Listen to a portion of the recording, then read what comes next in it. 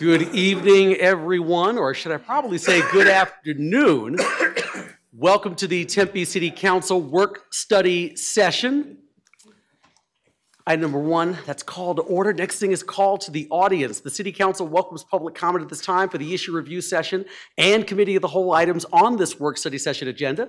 There is a three-minute time limit per speaker. Uh, Madam Clerk, I think we have one card this evening, I believe. Yes, Mr. Mayor, but that's um, provided as part of the meeting record for your review. Okay, so not here in per, okay, great. I will though look to the audience. Is there anyone in the audience who wishes to address the city council? If so, please get my attention. Okay, seeing none, I will move on. I'm going to move some things around based on my agenda. We've got a couple of things. We have a Pride Month proclamation and a uh, appreciation for our General Plan 2050 Working Group. So I'm going to go do those first. If people from council would like to join me down in the front,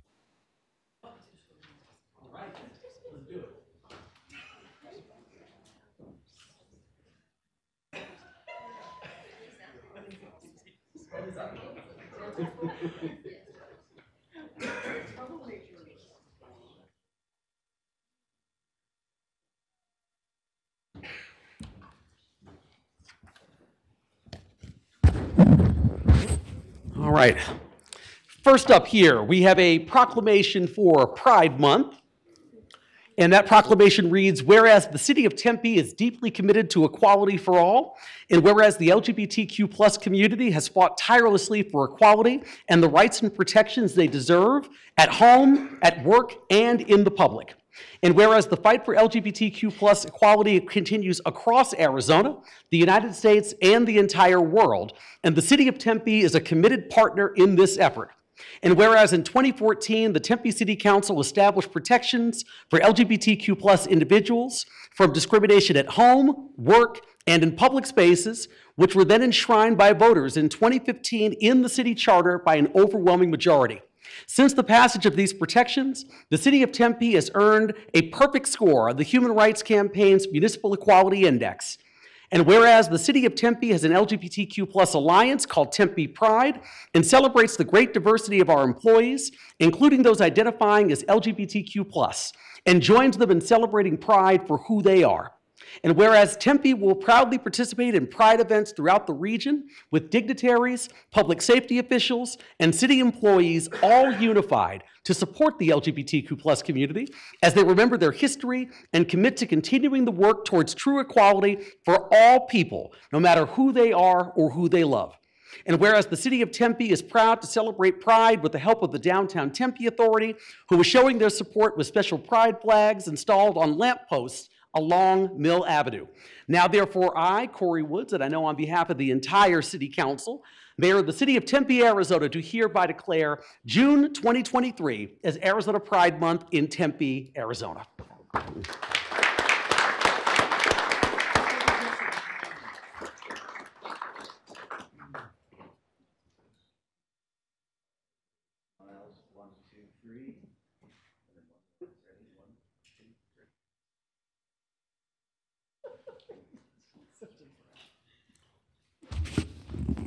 All right. Next up here, really grateful for the opportunity to recognize our community working group members for the proposed General Plan 2050. The community working group membership is diverse and we're appointed from the city representing residents, businesses, organizations, zip codes, and character area boundaries right here in Tempe. There have been 15 community working group meetings that have been held since July of 2022. Each attending member has given 225 hours of service in just the meetings alone. Many members have participated and volunteered in other general plan related events and meetings outside of the official working group meetings. Examples include Arts in the Park, public meetings, um, oh, and also, they provided perspectives and inputs from their areas of interest and concern, such as accessibility, veterans affairs, dementia-friendly development, our 20-minute city, affordable housing, transit, protection of neighborhoods, shade, and municipal services. Members have also provided guidance, advice, input, and comments that have, of course, helped to shape the current General Plan 2050 draft. So on behalf of the Tempe City Council and our Tempe community, we appreciate your hard work and commitment serving on this very important committee. And with that said, I want to make sure we've got some certificates here, because one of the things that we do each and every year is we have a boards and commissions event. This past year was over at the Omni Hotel, where we recognize all of the members of our 31 boards and commissions for the city of Tempe. Uh, And this evening, myself and the council wanted to make sure that we properly recognized each of those community working group members who have given, as we talked about before, 225 hours alone when it comes to meetings. So with that said, I'm going to go ahead and read off the names of the folks here. Uh, Some people weren't able to attend this evening, but we'll make sure that they get their certificate afterwards. So the first person I have here is Donald Ortiz. Is Donald Ortiz here?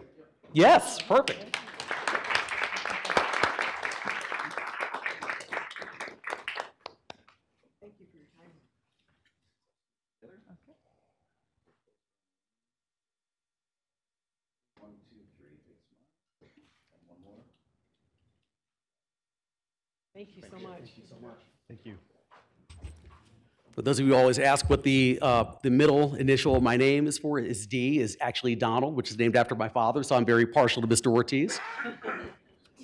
All right, the next person I have here from the Community Working Group is JP Coughlin.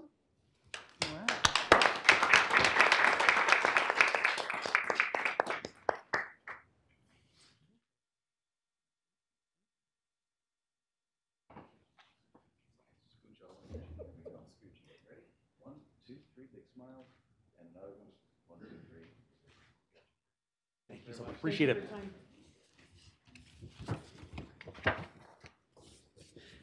The next community working group member is Janelyn Granillo. Is Janelyn here? Oh. All right, I know Jana well, so I can make sure to get this to her.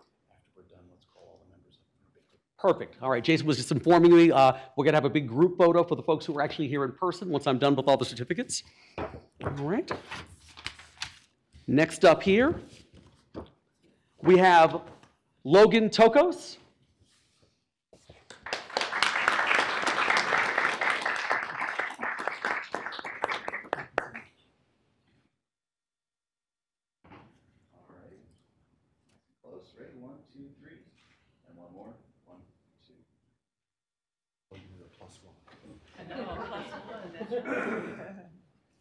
All right.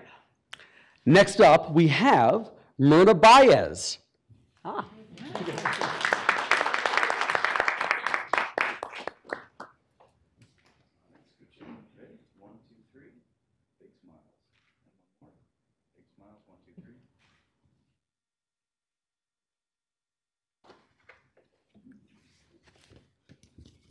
Next, we have Nolan Williams.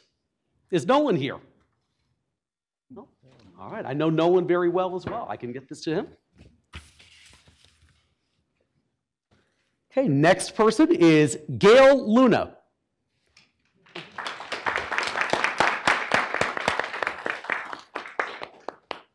Thank you for your time.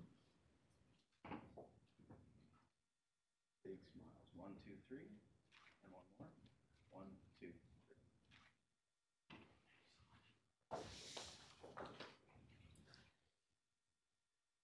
Okay, the next person I have here is Liliana Cardenas.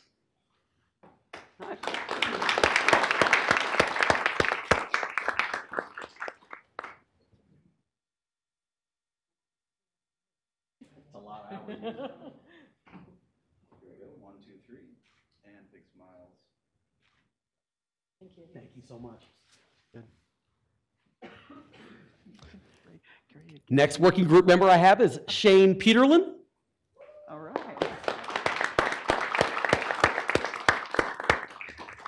I heard kind of a Shane cheering section at the back of the room over there, so. All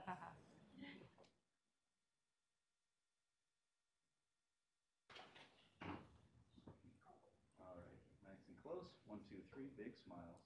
And one more. Thank you. Yeah. I'm not as light as I look, Councilmember Navarro.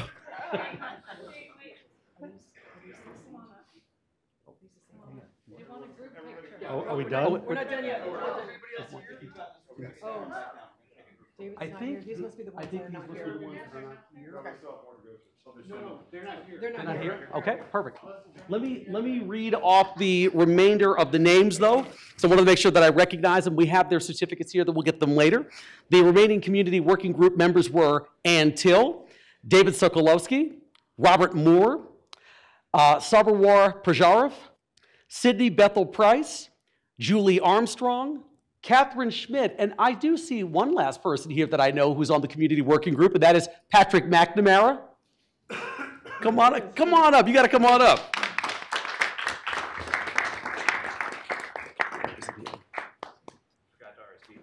That's okay. All right. You're welcome. Hold on here. Gotta, we gotta find yours here then. And, Should be the last one, right? no, it actually wasn't, interestingly. Mhm. Mhm. No? No? Give me the last one you open. There it is. Good thing you don't run the ASU graduation. That could not be good. Congratulations. Of Okay. Thank you. Scooch together. One, two, three. Big smile. One, two. Got it. One more. Thank you. Thank you so much. Before you go away, Pat, uh, let's go ahead and bring forward all the members who are actually here this evening from the community working groups. We can take a group photo. And council, we can probably get at, we'll get in the back or let them come up front. Yeah, absolutely.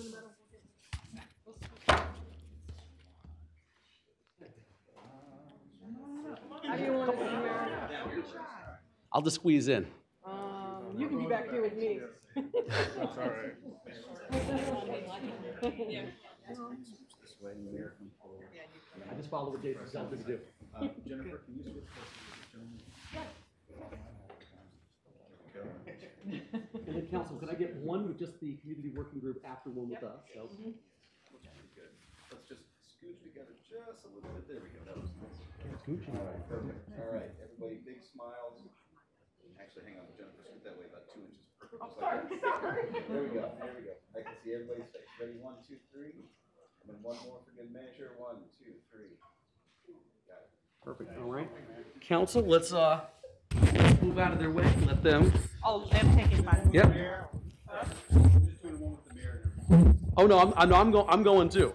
I'm just gonna get that out of the way. Thought I broke the microphone for a second. Oh, no, just one, one, just just the members. Just the group, okay.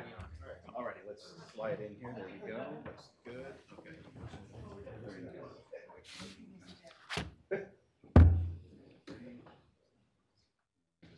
See what they're, where they're going. Yeah. Okay. All right, here we go. Now we're gonna do it. One, two, three, and one final picture. Feel free to go.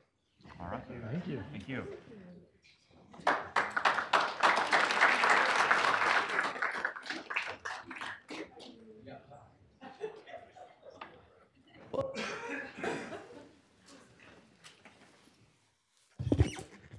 Thank you so much to all of the residents who served dutifully on that, on the community working group. Also, as a note too, uh, the next steps for the General Plan 2050 will be going to the Development Review Commission, which is an- also another group of all citizens who are going to be taking a look over two public hearings. And then the uh, General Plan 2050 draft will come to the council for two public meetings in August as well. So uh, for any residents who happen to be watching, we are still taking input and comments all the way up till the final ratification. So if you have additional comments or things that you'd like to see or feedback you'd like to provide council or staff, uh, definitely feel free to go to, to our website and provide whatever comments you have.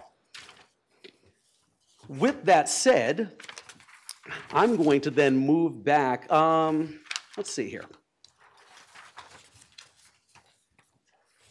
Madam City, do you want to do your announcements now, or would you like to wait till the end? The end is fine. Thank you, Okay. Mr. Mayor.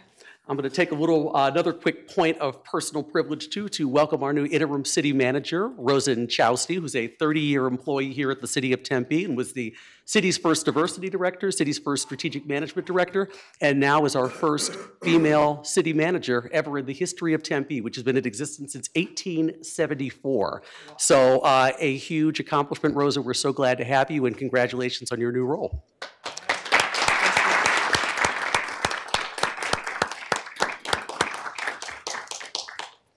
All right.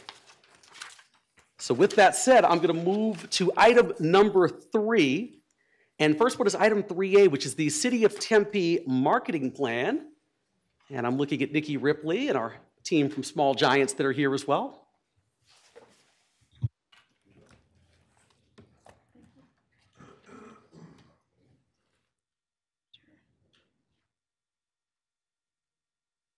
All right, hello, Mayor and Council, Nikki Ripley, Communication and Marketing Director for the city. With me tonight is Danielle Feroleto with Small Giants Marketing Agency.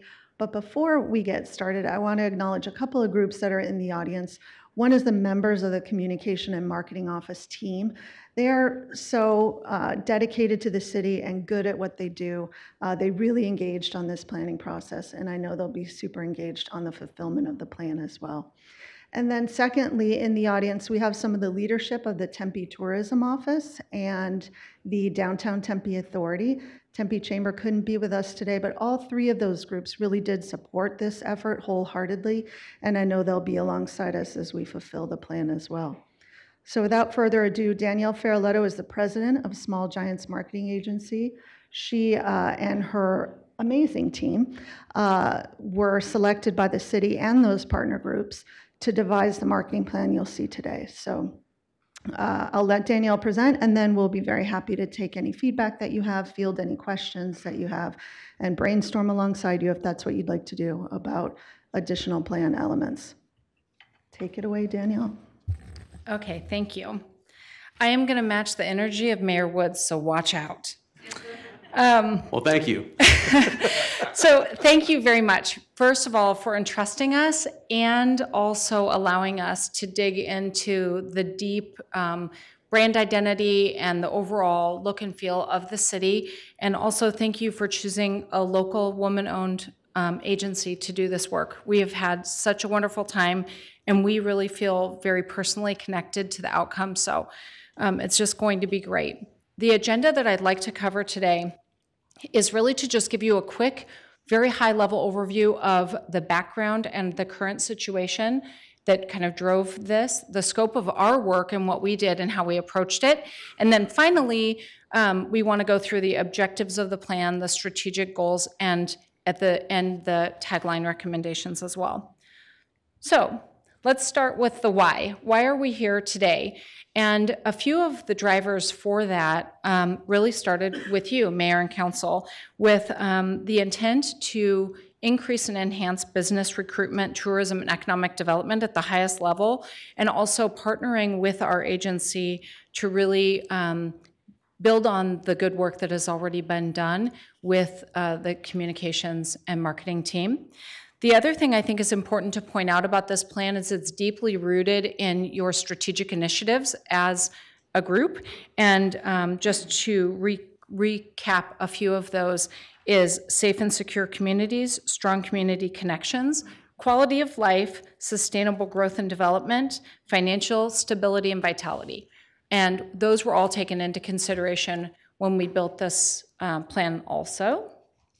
What you asked us to do was create a comprehensive citywide marketing plan, and that included getting into a measurable result with goals, uh, strategies, and tactics, recommended resources, including staffing plans over time, and then what those roles and structure would look like, and finally, a recommendation for the tagline. So, how did we approach this? Well, it was basically three pieces. We started with discovery workshops, and we got to know each and every one of you, as well as wonderful partner groups, including um, tourism, the chamber, and um, the downtown Tempe Authority. And through there, um, we then all came back together. I'll show you that in just a moment. Combined our findings and our information, and then made recommendations. We also did work closely with communications and marketing team, and they were really very, very knowledgeable, helpful, inviting, and supportive of the recommendations that we were making. So what does this look like? Just by the numbers, I wanted to point out that it was five months, 13 workshops, and 30 people that participated and uh, worked tirelessly to this endeavor. One of the things I wanted to point out is that we developed basically an ambassador for each one of the partner groups so that they came alongside me and heard different elements. So we had two people in each one of these workshops or more. And then, then when we all came together, they each brought their own kind of vested partnership um, advocacy so that we made sure that this was something that could work as a comprehensive plan. The first thing that we asked each and every person was, what are your objectives of the plan? Why, what does success look like for this plan? And it really came down to three key elements. The first one, and I think probably the most important one, was stakeholder alignment. And what that looked like for us was the ability to share resources, to have a shared vision as these different groups, and then have clear objectives that were measurable and people could point to success. Secondly, overall, people wanted and desired and supported a much stronger presence for this great city. So um, they wanted more robust and ambitious marketing, more visionary, um, to building on more visionary ma- marketing that um, allowed you to match the vision that you have as a city. And then that came through multi-channeled enhancements to build upon the marketing um, activities that currently exist. Finally, we wanted to achieve your goal, which is that all of this would be measurable, measurable and point to economic um, attraction and retention. Through our discovery workshops, we did find a bit of a gap. And so the North Star report was something that was a huge resource for us. There was a lot of work done and hundreds of pages on that. They interviewed over uh, 1,200 participants. That was seven years ago. And so it was supported by mayor and council to go ahead and look at an identity refresh for the um, city. And it's important to point out that this is not about colors or logos or anything like that. This is about brand identity. This is about an aspirational statement and um, pointing back to the great attributes of the city that you're building on. So we drew upon three things. The first is the past with the North Star report that um, provided us with comprehensive research. It had relevant aspects that are still very true today. Then we had our own discovery sessions that we drew into this. And then finally, the goal is this identity statement that allowed us to really pull out the differentiators, the things that are not easily replicated within this for the city, and it has an aspirational aspect for it so that we can achieve some of the things that we heard from you, like strategic communications. All of that feedback fell into four major buckets in our view. One is one of the most wonderful things to celebrate and enhance is that you are a university town, highly educated workforce, highly educated residents, forward thinking people. Secondly, um, it was about just movement and activity and energy. The third is how you treat and attract and retain and, and value your business force. And whether it's a startup or an existing um, business, just the support and the, um, and the overall um, goals, shared vision and goals that you give to those businesses. And then finally, it has to do with community and family, really that someone can find something. That was a very common theme that we heard from everyone, is that there's something to be found no matter what age, no matter who you are, you can find something um, and that that diversity spans into all things, including events and the arts and many things like that. So our challenge then was to take the 2016 statement and, and update it into something that was reflective. And the whole purpose of this is so that it would really ignite action and more um, vision and aspiration into our plan. There wouldn't be a gap there. Um, so this is what we came up with. Obviously, we're open to your continued um, feedback. This was the consensus of the group. And the statement is this an innovative community, youthful in energy, rich in history, and forward thinking. Tempe is the heart of Arizona where art, education, and diversity thrive. So, with that being the heart of your identity, we felt that a really good way to approach this plan was from the inside out. So, now that we have an identity, we span out. The five spokes that you can see along here basically made us committed to these messages being equally balanced and also have frequency and consistency in these messages. So what that meant to us was business retention. That was one of your goals. That was very obvious to us, and even with the stakeholder groups. Um, we also heard quite a bit about very important and equally but different stories with North and South Tempe. And we felt that that needed to live throughout the plan so that those um, great stories live equally.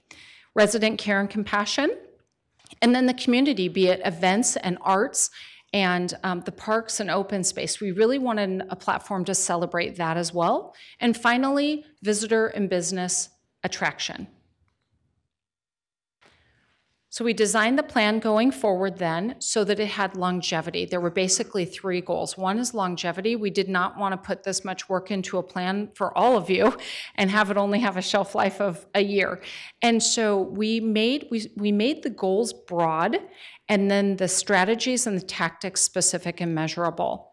So the longevity of the plan is intended to really be a working document so that it can be built upon. The second piece and second element of that that's important is that it included a staffing plan.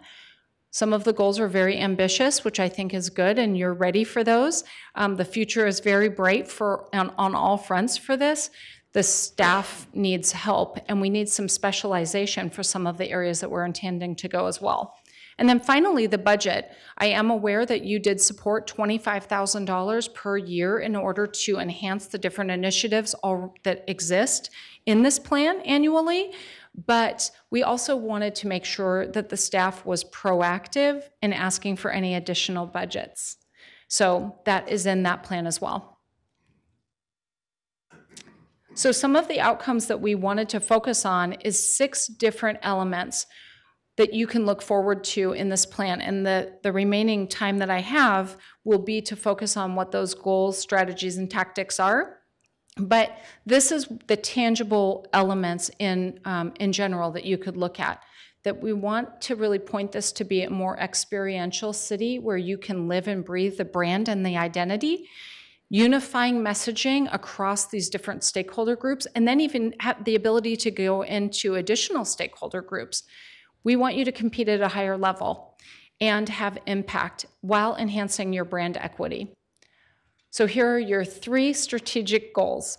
And I'll be brief. I'll give you some examples. I could sit and talk about this for two hours, but I'm sure that this is not something that you thrive on for, you know, that long.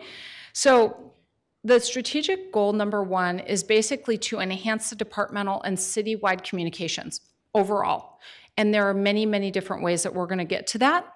The second one is to ensure brand consistent consistency and alignment, namely with the messaging and the activities where one group is doing something from a marketing standpoint, sharing those resources so that we're able to combine and be more efficient and have centralized knowledge of who's doing what as well. The third one is to enhance and elevate the City of Tempe's local, regional, and national brand, and to achieve a more competitive business recruitment platform. So goal number one, enhance day-to-day departmental and citywide communications done through three major objectives. The first one is to improve and increase real-time and direct outbound city to resident um, communication. So a few of the things that we had thought of that you can look forward to is um, a civic engagement platform so that there are different ways to reach them and mo more channels to be able to reach them, not just social media, but other avenues as well. The second um, objective is to enhance and increase visitor engagement through social media. That was spoken of a lot. There's a lot inside of that. And in fact, that initiative alone We'll have a plan that's going to have to be crafted by communication and marketing team. But just a few teasers to that is having a platform and a software so that they can manage and have consistent um, brand messaging and um, and have a dedicated area so that they can um, have better planning for that overall. And then one of the things that was asked quite a bit is that council is really an extension of the marketing and the communication of this city. We want to move forward right away with um, the social media training and planning to give you the tools that you need to be able to do that well as well. Objective number three is consistent brand messaging and tone. And so this really talks about just rolling out that um, overall messaging, including story spotting, and then hiring someone who is a copywriter specifically to carry this in through all of the different departments. Goal number two, as we talked about, this is about brand identity messaging and activities among the different groups into a centralized model. And what that looked like was objective, the single objective we have for now is creating consistent brand identity because this is a very ambitious objective to be able to bring all people together and create a platform that works well. One of the things that we talked about related to this and that you can look forward to is a shared calendar um, of all of the different activities, including different events uh, for the city, so that people are aware of that and they're able to share stories and promote those and bring that into your overall brand and your goals. The second one is Team Tempe already exists internally and is alive and well, and we heard really great things about that. This is basically to create a liaison for the management to achieve that. All right, I'm on the home stretch and I have one minute left. Uh, goal number three is enhance and elevate City of Tempe's local, regional, and national brand to achieve competitive business recruitment, tourism, and overall economic development. Two objectives here. One is starting really kind of at the local level is implementing the new brand identity across the messaging internal service providers and external providers. So a few things that we would be looking at from there is basically getting feedback and then um, measuring reach and engagement. The second piece of that is um, creating brand interaction touch points. So if any of you have been to the airport as an example and have heard the messages from councilwoman or mayor, we'd like to do more things like that, where you actually hear the voice of mayor and council and other um, influencers within the city at various touch points of your cho- choosing to really amplify what you're up to and integrate you into that plan and the history of the city. Um, also, QR codes could be very powerful throughout the city, enhancing and expanding your signage. We're talking specifically about entry points and ex- ex- exit points within the city as well, and also just any interior graphics where that's able to integrate into some of the initiatives like the Mill Avenue initiatives that you have going on right now. Final thing is on a national level. We really want to be looking at areas where you can compete, whether it be in site selection, uh, conferences, um, in, you know, again, uh, key tourist areas, um, overall marketing and um, presence in some of these competing ci- cities. We heard not only with tourism, but economic development, such cities as Salt Lake City, Denver, Tampa, and Charlotte. Let's talk about the tagline. So, the tagline, we were asked what our recommendations were, not to create a new tagline, but through what we heard, we definitely know that the, the existing tagline right now is making waves in the desert. And through our discussions, people felt very comfortable with um, the making waves portion. The in the desert is where I think they got a little bit more stuck. So, some of the suggestions we had were to enhance that tagline, keep it short, but build upon it to really bring forward innovation, forward thinking, and have it marry up with your overall new brand identity. Um, and I'm happy to discuss that any further as well if you have any questions.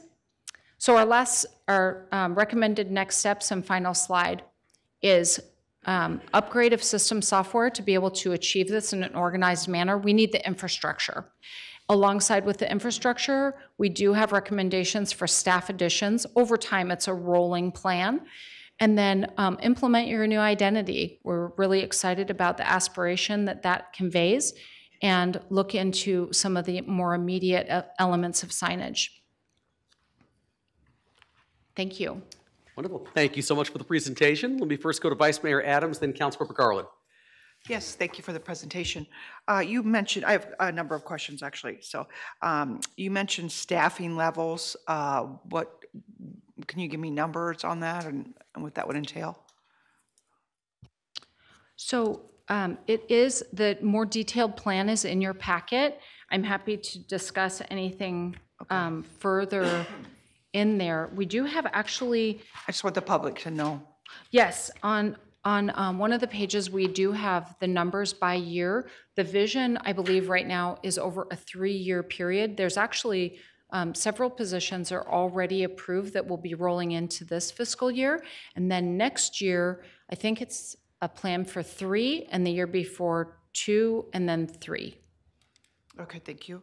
Um, And did you guys have, I think you did, but did you have residents included in on, on this plan?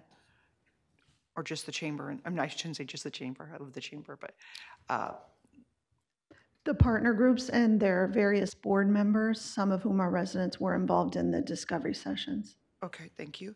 And what are our measurement tools? How are we going to measure that, that we're being successful? We've been talking a lot about measurement. I I can start and um, there's a lot of measurement to be done of this plan overall and in specific. So Danielle referenced one example is the creation of a social media plan. That needs to happen, and that's our team making that real. So there's a lot about this plan which is meant to be a framework that then we need to go back and really hammer out specific plans for. So the social media plan, as an example, will have measurable goals for increases in things like reach and engagement, um, potentially the use of new tools, those kind of specific measurements within a dedicated plan for a tactic like increasing our social media presence. Because I'm just uncomfortable not having specific measurement tools um, laid out in this presentation. As, I mean, we, we're a city that really um, focuses on measurement tools, and so, you know, that- I would like that um, really drilled down, and, and so we can have that known to the public, how we're going to measure this. Thanks for that feedback. On the granular level with this um, social media plan, that's one measurement that would be to come. On an overall basis, uh, we have performance measure 2.21, which is satisfaction with the availability of city information about um, programs and services. That is an overall existing performance measure where we could take this plan and add to the strategies that are already hammered out to advance that performance measure. These are some of the things we're thinking about already with respect to measurement. Okay, and then uh, entry points, you mentioned entry points. Uh, What are you thinking about, um, what that would look like for um, entry s- signage? So our um, concept, and also in working with Nikki on what she's aware of that's already existing and what is planned, was just the enhancement, whether it be size or just um, including a little bit more of some of the brand identity within some of the signage, and then monument signage, just to really um, create some wayfinding and landmarking of the city and reinforcing the brand throughout. Okay, I, uh, I know that we have new signs uh, when we come into the city, uh, but, I mean, if you look around other cities, they have so much better signs, and they're so much bigger, and, We agree, Vice Mayor. As you know, we replaced and refreshed the 29 entryway signs that were pre-existing at various points within the city.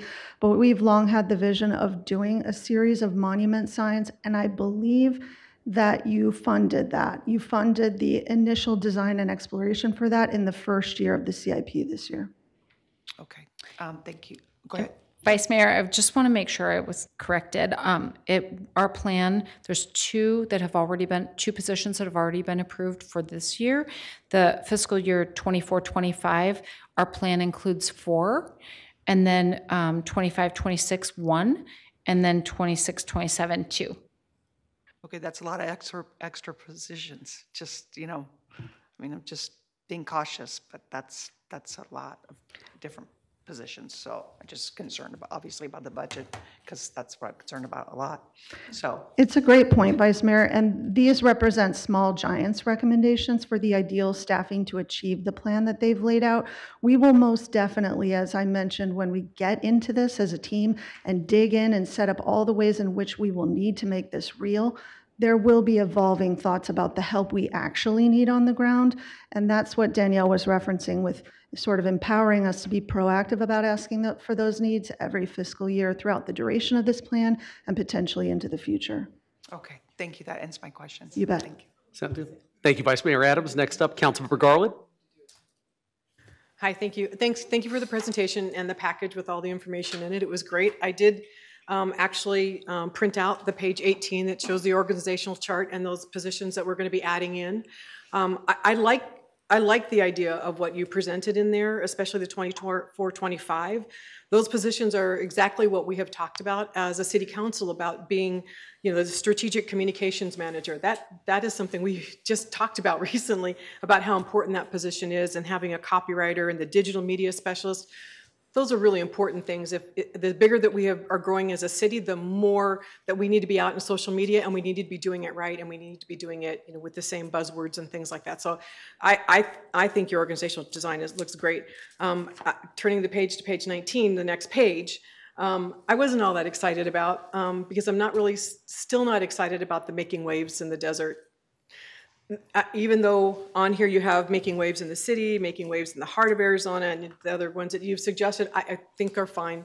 It's still that making waves. It still doesn't like get me excited, like, you know, keep Austin weird. I mean, it's not something that just, uh, it, that I could see people wearing on t-shirts and going, oh, I gotta get that shirt. I go to Austin and we gotta get those shirts.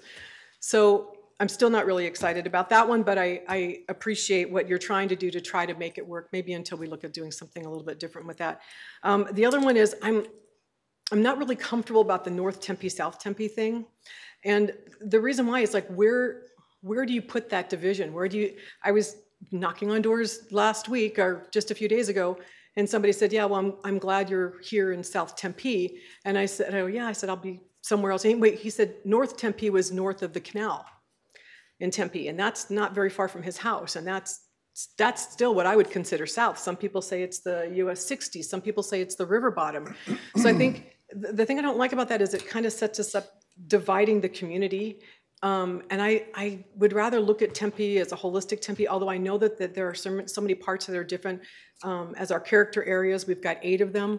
Uh, so I know that our, the character of the areas are different. It just seems, it's just hard for me to define what north and south is and how do you get the flavor of those when it's so mixed.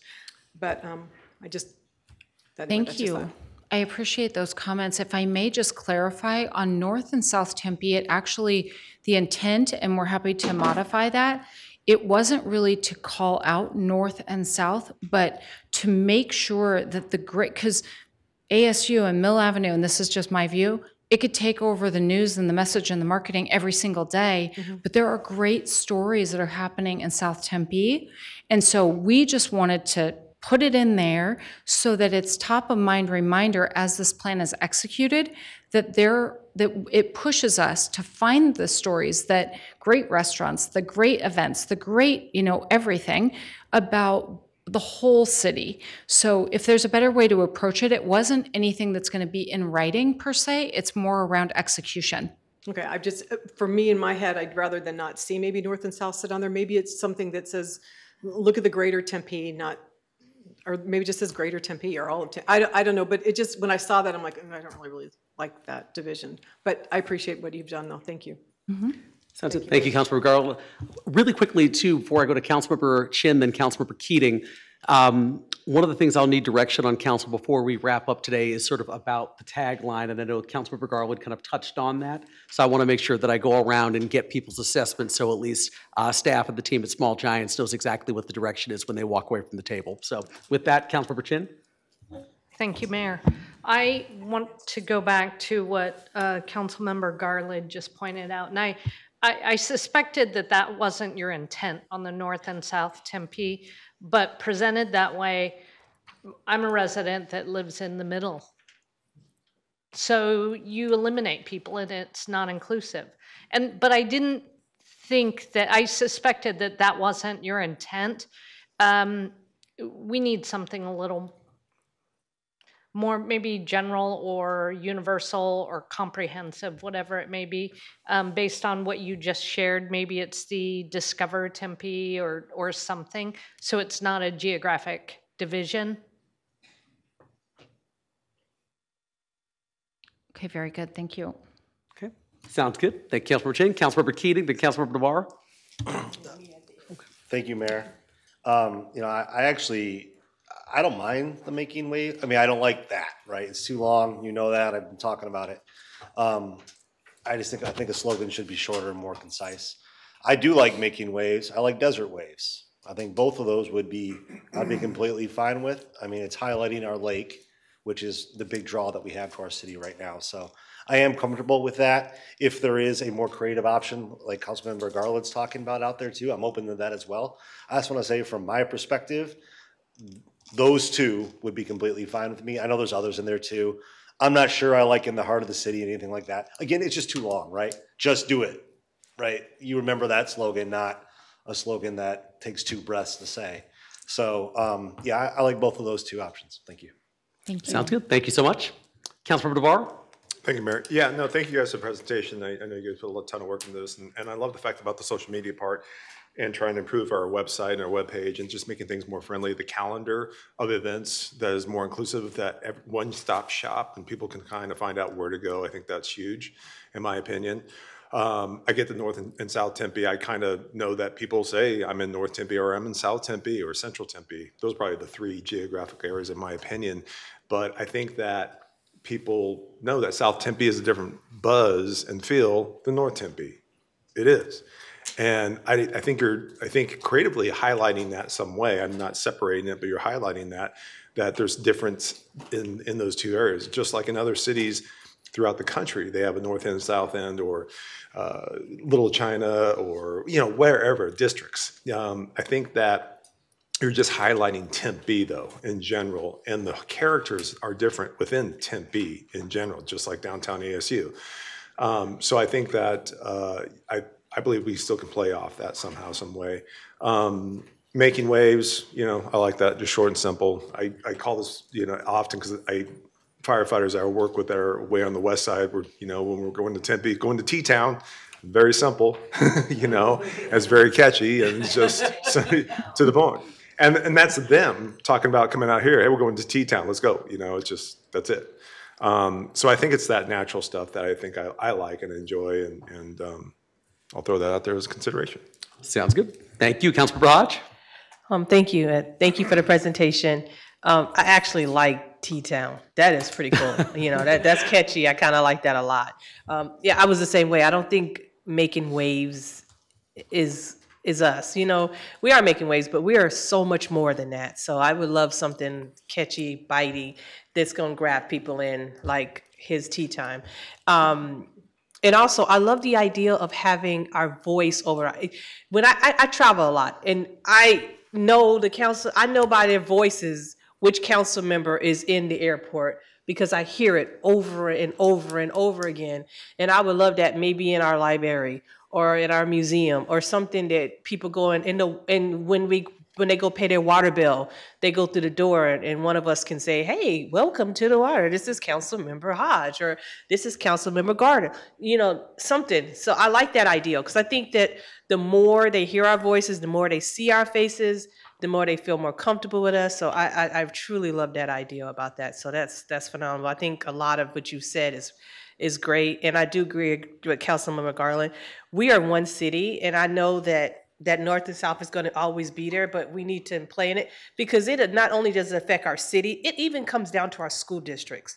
North and south schools, this school over here, that's we need to realize that we're Tempe and how we bring that together is just it, it really does make a difference because even the kids feel it, even as young as grade school. Well, I'm in the North Tempe schools or I'm in this, you know, so and it's not a good thing sometimes how they talk about it. So I just um as much as we can to make this Tempe, you know, because you don't hear people say, "Oh, this is Mesa." It's always Mesa. It's not um, South Mesa, West Mesa, East Mesa, North Mesa. It's just Mesa. So I would just hope that maybe one day we can become just Tempe.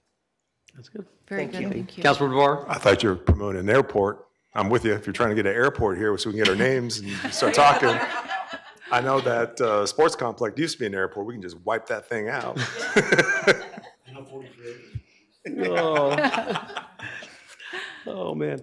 Um, so a couple of things on my end. Um, I really, talking about the tagline, I would like to personally move away from the tagline. Uh, I, I def, I like something else. I, the, the making way, and I know you, the, the first conversations about this were in 2016, 2017, so it was probably right when I left the council and Councilmember Keating came on. So that's why I just don't sort of have the emotional connection to it. But when I think of it, I just don't think of anything. I, I, I think it's supposed to sort of symbolize innovation and youth and being progressive, but it doesn't, it just doesn't land to me. So I would love to go away from that. But I like, I like what Councilmember Navarro is talking about with something and Councilmember Keating, something short, something very punchy, something that people can clearly remember, like the Nike slogan that you just quoted. So I, would like to move away from that personally. Um, but I like the themes that you were highlighting that you would incorporate into the development of a new tagline. So I'm totally comfortable with what you're using as sort of um, some of the baseline keywords, I guess I would say. Um, the second thing is I, I totally agree with all the sentiment here too about the sort of the North Tempe, South Tempe thing. And I understand exactly why you did it. But I'd like to also move away from that too, because I think that, I mean, I, when, as Councilmember Hodge was talking, I kept thinking one Tempe is what I kept thinking.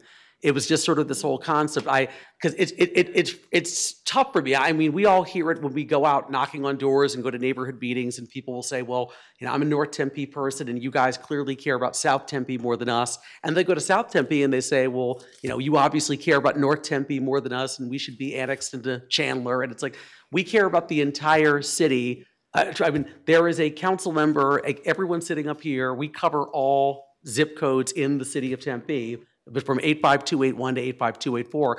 But what I would love to do is to not sort of highlight the north-south Tempe thing, but really kind of stop pushing that as much and really start pushing residents more towards what Councilmember Hodge was talking about. Look, we are one community of 42 square miles, and we need to see ourselves that way, as opposed to thinking that this this part of the community gets more than me and, and we feel neglected. I really would like to say we are one Tempe. We're not we're not north or south. Very good. Thank you. Anyone else?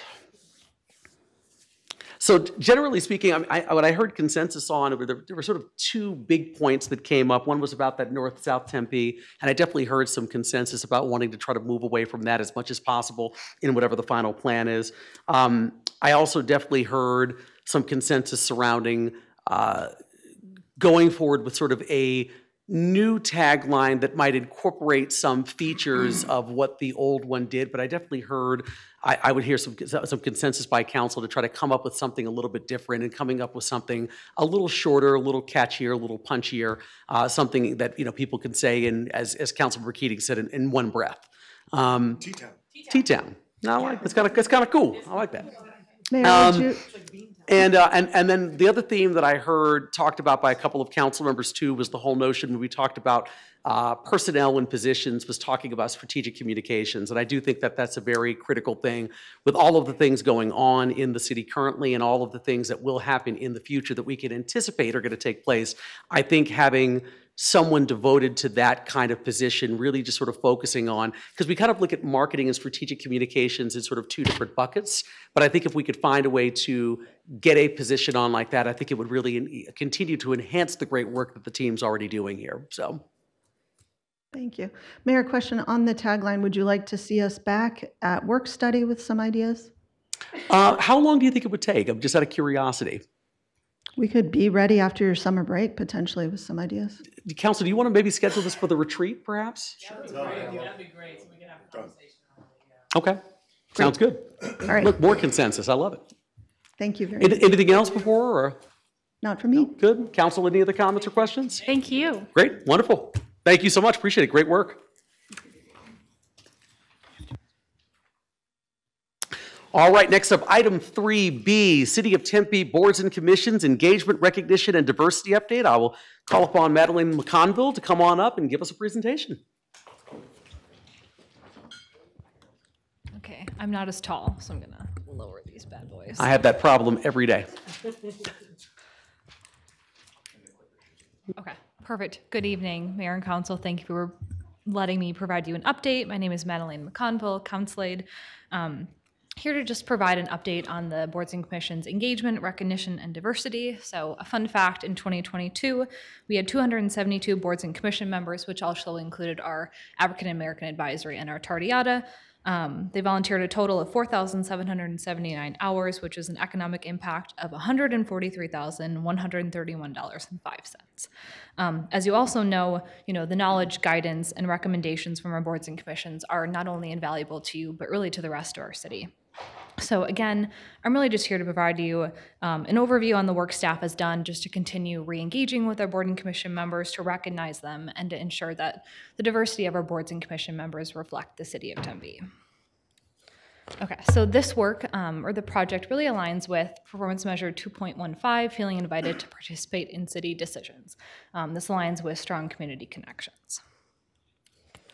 So the project background, um, just again, kind of reiterating the purpose and objective is to, you know, improve boarding commission experience and satisfaction while also focusing on the diversity of our boards and commissions. So this first was requested by a former council member at the February 20th, 2020 work study session to just have some general information brought to the next work study session. So that's when it started at March 2020. Work study session, staff presented on, you know, the same type of presentation, engagement, recognition, and diversity. Following that presentation, Tempe City Council had provided recommendations to staff to continue, or to, I guess, to, to re-engage um, with the, um, excuse me, the annual boards and commissions event, issue name tags to members, and then providing that special recognition for members, which we do at those annual events with the name, um, the name tags, and then the pins of the five, 10, and 15 year um, years of service.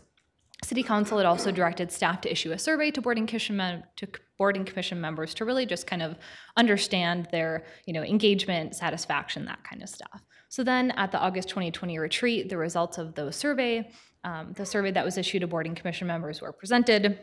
And then um, Tempe City Council then asked staff again um, to kind of explore additional options. Um, then September to December 2021, you know, research and input um, was provided by board and commission members, staff liaisons, and then um, the chairs. And then staff had done additional research into um, the items that were discussed at the August 2020 retreat. Um, then staff had presented at the January 2022 work study session on all the work that was done from September to December 2021. Staff had presented nine recommendations to City Council at the time that received unanimous consensus from City Council to pursue those recommendations. So getting to where we are now, um, January to May of 2023, staff has really just been working on developing the implementation plan for those nine recommendations. So just a friendly reminder, we have 28 boards and commissions. This does not include our African American Advisory Committee or our Tardeada. There are specifically 14 advisory boards and commissions that advise on policy or development. Um, and then this 256 number, again, that does not include our African American or our Tardeada Committee. Um, so getting into our implementation. So again, just a reminder, those nine city council recommendations were in three different groups. So recruitment, training and development, and then engagement and appreciation of boarding commission members. Um, you know, since it had been a bit since we had surveyed boarding commission members, about a year and a half, we really wanted to re-engage, just make sure that the recommendations still reflected, um, you know, the priorities of our boarding commission members. So we had sent out a survey in April of 2023 to our boarding commission members. The survey was anonymous, and we received 72 responses. And then from those responses, 70% of our total 28 boards and commissions were reflected in the survey. So these, um, getting into the survey results. So diversity is incredibly important, as we've discussed several times before.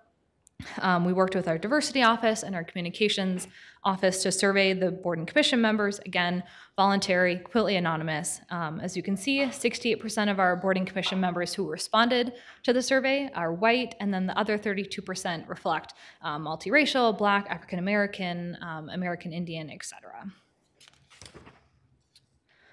The next, yeah. Is, is in the, is Latino in- incorporated into multiracial? Yeah, yep. So Okay. this is the same type of question. So when board and commission members um, apply to be a, on a board and commission, this is the exact same question that we ask them. So yeah, Okay. Latino is technically, if I'm right, um, it's an ethnicity. So like on the census, they ask you if you're Latino or not Latino. Right. Um, and then when you specifically get into races, this is um, a normal question that's asked. Councilor Hodge? No, I, I I was just, yeah, I was just asking if, if Latino was, I just noticed, uh, since that's, um, I didn't see that broken out in the, so I was just curious, yeah, as to where it was in the, in the wheel, so. So Kara, I don't know if you, or Councilmember Navarro, if you want to explain. Councilmember Barr? No, this is, and just to this point, this was kind of the thing also with the census, that they took out uh, Hispanic, Latin, you know, all those, and when people took the census, they didn't match where they were at. They had no idea that, well, now you're considered Caucasian, or this is the category you're at. And not, and not to reflect this, I think that when we go out with surveys to our public, it's, it- you know, that's the first thing I look at, well, then where do I put? Okay, I got it. You have to know the rules. Um, So the thing is, I, I think that if we do a survey, if we do want something uh, down the road, I think having that, you know, in there, I think would be better. Yeah, and I can work with city clerk's office to kind of, because this is again, the same question that's asked in the application, so we can make sure that that reflects the, the different changes. Sounds good. No, Thank you. Yeah. So getting into the age range of survey participants, so as you can see, you know, a large chunk of our members are in that 65 and over, but anywhere from, you know, 2 to 2 to 16% of um, are the people who responded to the survey um, are in that 18 to 64 age range. Councilmember Getting into- Keating? Why, thank you, Mayor. So this is a conversation I, I've had years previous, I'm gonna say it again. You know, the average age of Tempe is, is under thirty. I know that's skewed by a lot of college kids, but I, I would just like to see, and I, I don't know what the answer is for this, but some sort of thought into put in recruiting young professionals, you know, I would say twenty-five to like a forty-year-old range to, to get them involved. And I see that, you know, the purple is the third biggest slide. So that's, that's kind of right what I'm, where I'm thinking. But, you know, we want to make sure that our boards and commissions hold, hold so much weight on the decisions we make. And I just want to make sure that we're doing everything we can to make sure that those that make up our boards and commissions are representative of the population that they're representing. So I'm not asking for an answer now. I'm just putting that out to the ether, like I do almost every year, that uh, it has gotten better, but let's, let's keep, let's keep focus on, on that as well. Thank you. If you have any ideas, Yeah, you know, look, yeah. You know what? I'll, I'll, Okay, Getting into gender identity. So 52% women, 45% male, and then three in that non-binary or prefer not to say category. Um, so the final question that we had asked, and this mirrors the same question that we had asked in that fall of 2021 survey, is really again just to get the you know to gauge if the priorities that you know the nine recommendations that we presented to you about a year and a half ago were still reflective of their priority so they were able to choose the top three ways the city can improve their experience. As you can see the top four are additional interaction between members and city leadership council members slash council committees acting as a liaison to a board and commission. I'll get into that specific one later. Additional collaboration between the commissions to achieve citywide goals. And then um, Finally, training and onboarding of members. Again, these um, responses that we received were pretty reflective of what they were saying in that fall of 2021 survey. Let's see, just question on the previous slide too, about the uh, split between men and women. Yeah. You don't happen to have the number from where it was like two, three years ago, because I remember it was, it was definitely very different. So I believe that, you know, kind of since this council's been sworn in, I think, 'cause I remember, I, I might be misquoting the number, but I believe it was like roughly 65% male and about 35% female, like probably right around July of 2020 or so. So I mean, this, I think, does represent a pretty seismic shift and a lot more balance, but I'm just not sure if we have those numbers right now. Yeah, I think we would. And that specific survey, I don't know if they had surveyed, you know, respondents um, or if that was from the application numbers, but I we'll have to figure out. We'll have to look back on that data and see if we can get that to you all. Sounds Um, good. Thank you. Okay, so getting specifically into the implementation plan. So this is broken up by each of the nine recommendations, and then you'll see the status on the right. So starting with um, annual recognition event, again, we've done this for the past two years. We actually set a date for 2024 already of May 17th. That'll continue. Hopefully, we don't have another pandemic that pauses them again. Um, the next council member is acting as a liaison to a board and commission based on assigned council committee. You all have seen that plan. You all have approved that plan. It's part of your packet. Um, and then getting into the boarding commissions presenting their annual reports at a council committee. So each of those boarding commission, or yeah, each of those boarding commissions that are assigned to a council committee, that's where they would come and present those annual plans. expanding the annual public information campaign that is also in your packet chris baxter and the communication and marketing team they drafted up a public information which also includes a targeted recruitment campaign towards underrepresented communities getting into training and development um, establishing the city clerk's office as a central department this has been completed it's been the central department for a few years now um, the next one, instituting a minimum level of training for all members and liaisons that includes equity and action. Still working through this with the city clerk's office. We're hoping that this is finalized in fall of 2023. Next, establishing a mentor mentee program. So instead of forcing boarding commissions to have a mentor mentee program, we're instead going to empower them to continue doing what they're doing. A lot of them have a mentor mentee program. Um, and then finally, empower boards and commissions to refresh and develop for those who don't have them, their bylaws in the next 12 months. Again, um, finalizing this with the clerk's office to develop a template for those bylaws so they are standard through all boards and commissions. Okay, so next steps. Again, just continuing that annual recognition event. Um, next, implementing council committee liaisons and annual reports to be presented at the respective council committee. Continue working with our communications and marketing team on that annual information campaign and targeted recruitment. And then finally, you know, just continuing to work with our city clerk's office on finalizing that minimum level of training, refreshing and developing their bylaws, and then having consistent agendas and minutes, because I know that's another thing that we hear a lot from you all. Um, okay, so then before I take questions, Jason's going to play a video that was developed um, for specific the outreach and communications um, by our communications and marketing office.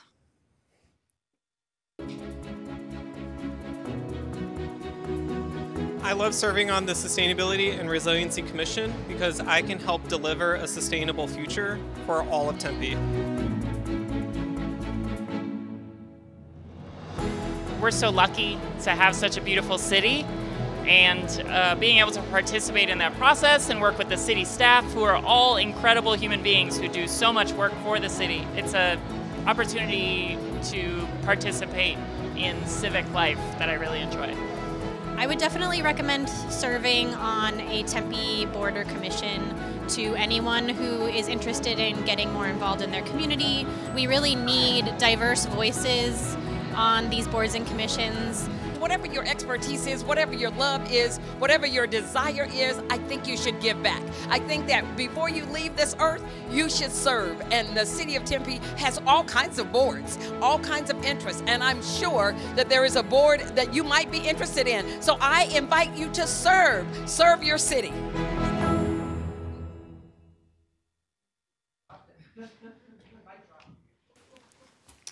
And with that, I will take more questions. Sounds good. Thank you for the presentation. Councilmember Garlid?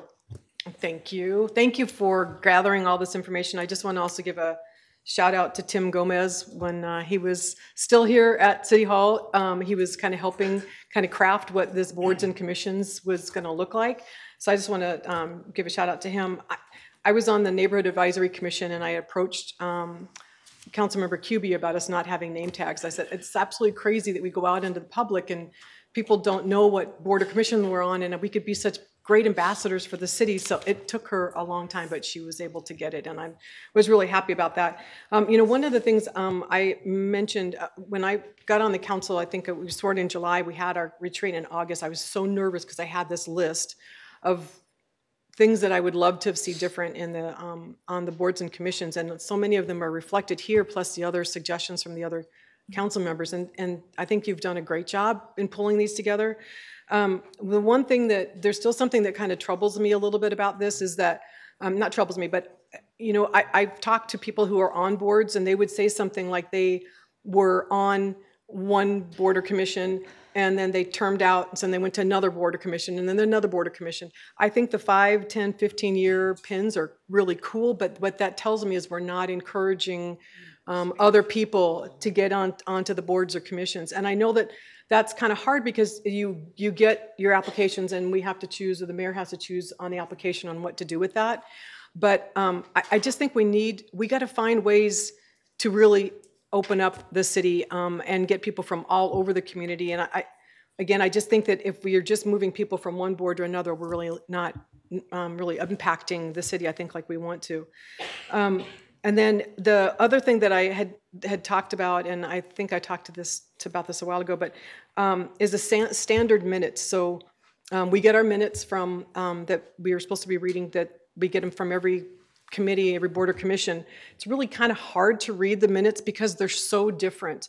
And at one time, the city clerk had said, had mentioned to me that they were going to do a new training, and so that everybody registered the votes the same way, everybody wrote the same information. Some people write a book on their minutes, and some people do bullet points. So um, I would still like, I didn't see this on here, so I'd still kind of like to see if we can find some way to kind of get standard minutes, so it's easier. Yeah, that is on our next steps in, um, in conjunction with the training, then it'll be, you know, standard bylaws, standard minutes, and standard agendas. That So would be great. Okay, thank you. And then I, I think the recognition was a huge hit. I- I can't tell you how many people that were at that event came up and just, they were so thankful that you guys did that. I think that that went a long way in our community for us to be able to stand up there and tell them thank you. Um, and I don't think we say that enough. I also like the, the separation of, um, how we're breaking down the, the boards and commissions under each committee. I think that's really healthy because they want to hear from us and they want to see us besides just at the recognition, they want to see us in their committee. So I think that that's a really great idea. So I just want to say thank you so much. Yeah. That's all my notes. Thank you. Thank you. Great job. Councilmember Hodge? Okay, um, I'm gonna go back to Councilmember Keating's suggestion. You, you know, you said give us one. Maybe you, we should, uh, do recruitments at the university. Um, ASU, we have ASU in our back door, so maybe we can go and talk about our commissions and boards and how to get involved. And also, at 18 years old, we have high school kids who are, they're registered to vote. They could be registered to do a board or commission if they know about it. So more commu, um, more to get that 18 to 24 and that 25 to whatever that is up is to go to them. We got to meet them where they're at, not the other way around. Thank you. Sounds good. Thank you. Councilmember Chin? Thank you, Mayor. Um, I'm going to piggyback on that one a little bit. And, and I think diversity in, in all respects is important for participation on the boards and commissions. I think what I heard Councilmember Keating say, right, was let's make sure we're representative of our community and our residents. And I'm a huge fan of ASU students, but that's not exactly what we're looking for. I would like to see residents that own homes in our area that have, that are stakeholders. And uh, we have spots for ASU students on our commission, specifically for ASU students, and that's great. We should continue that where it's appropriate. But I think what we're looking for is those middle categories, right? And I agree.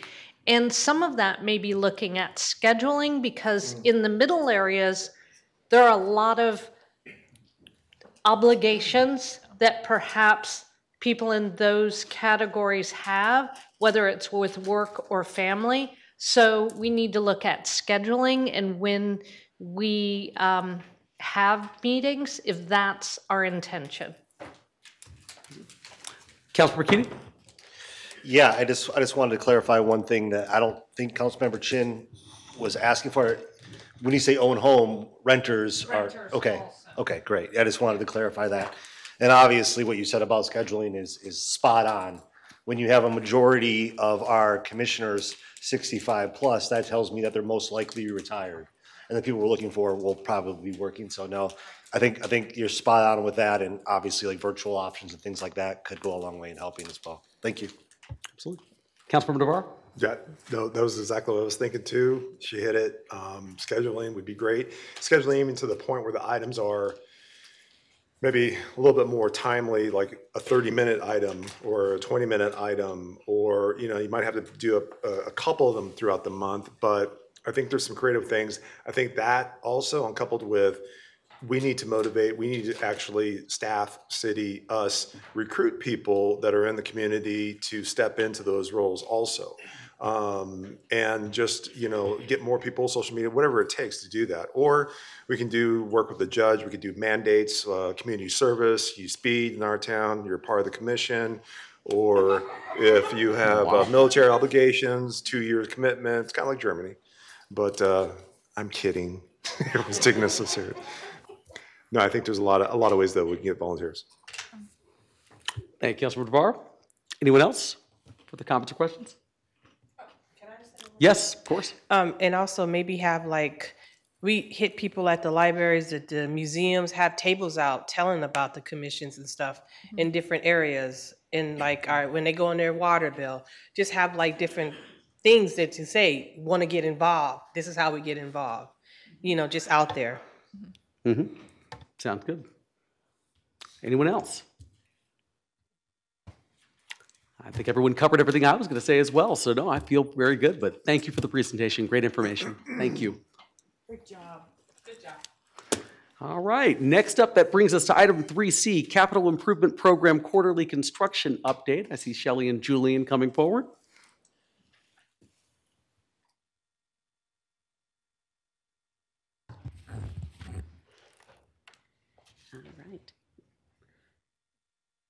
Uh, Good evening, Mayor and Council. Shelley Seyler, Interim Engineering and Transportation Director, and with me is Julian Dresang, our City Engineer.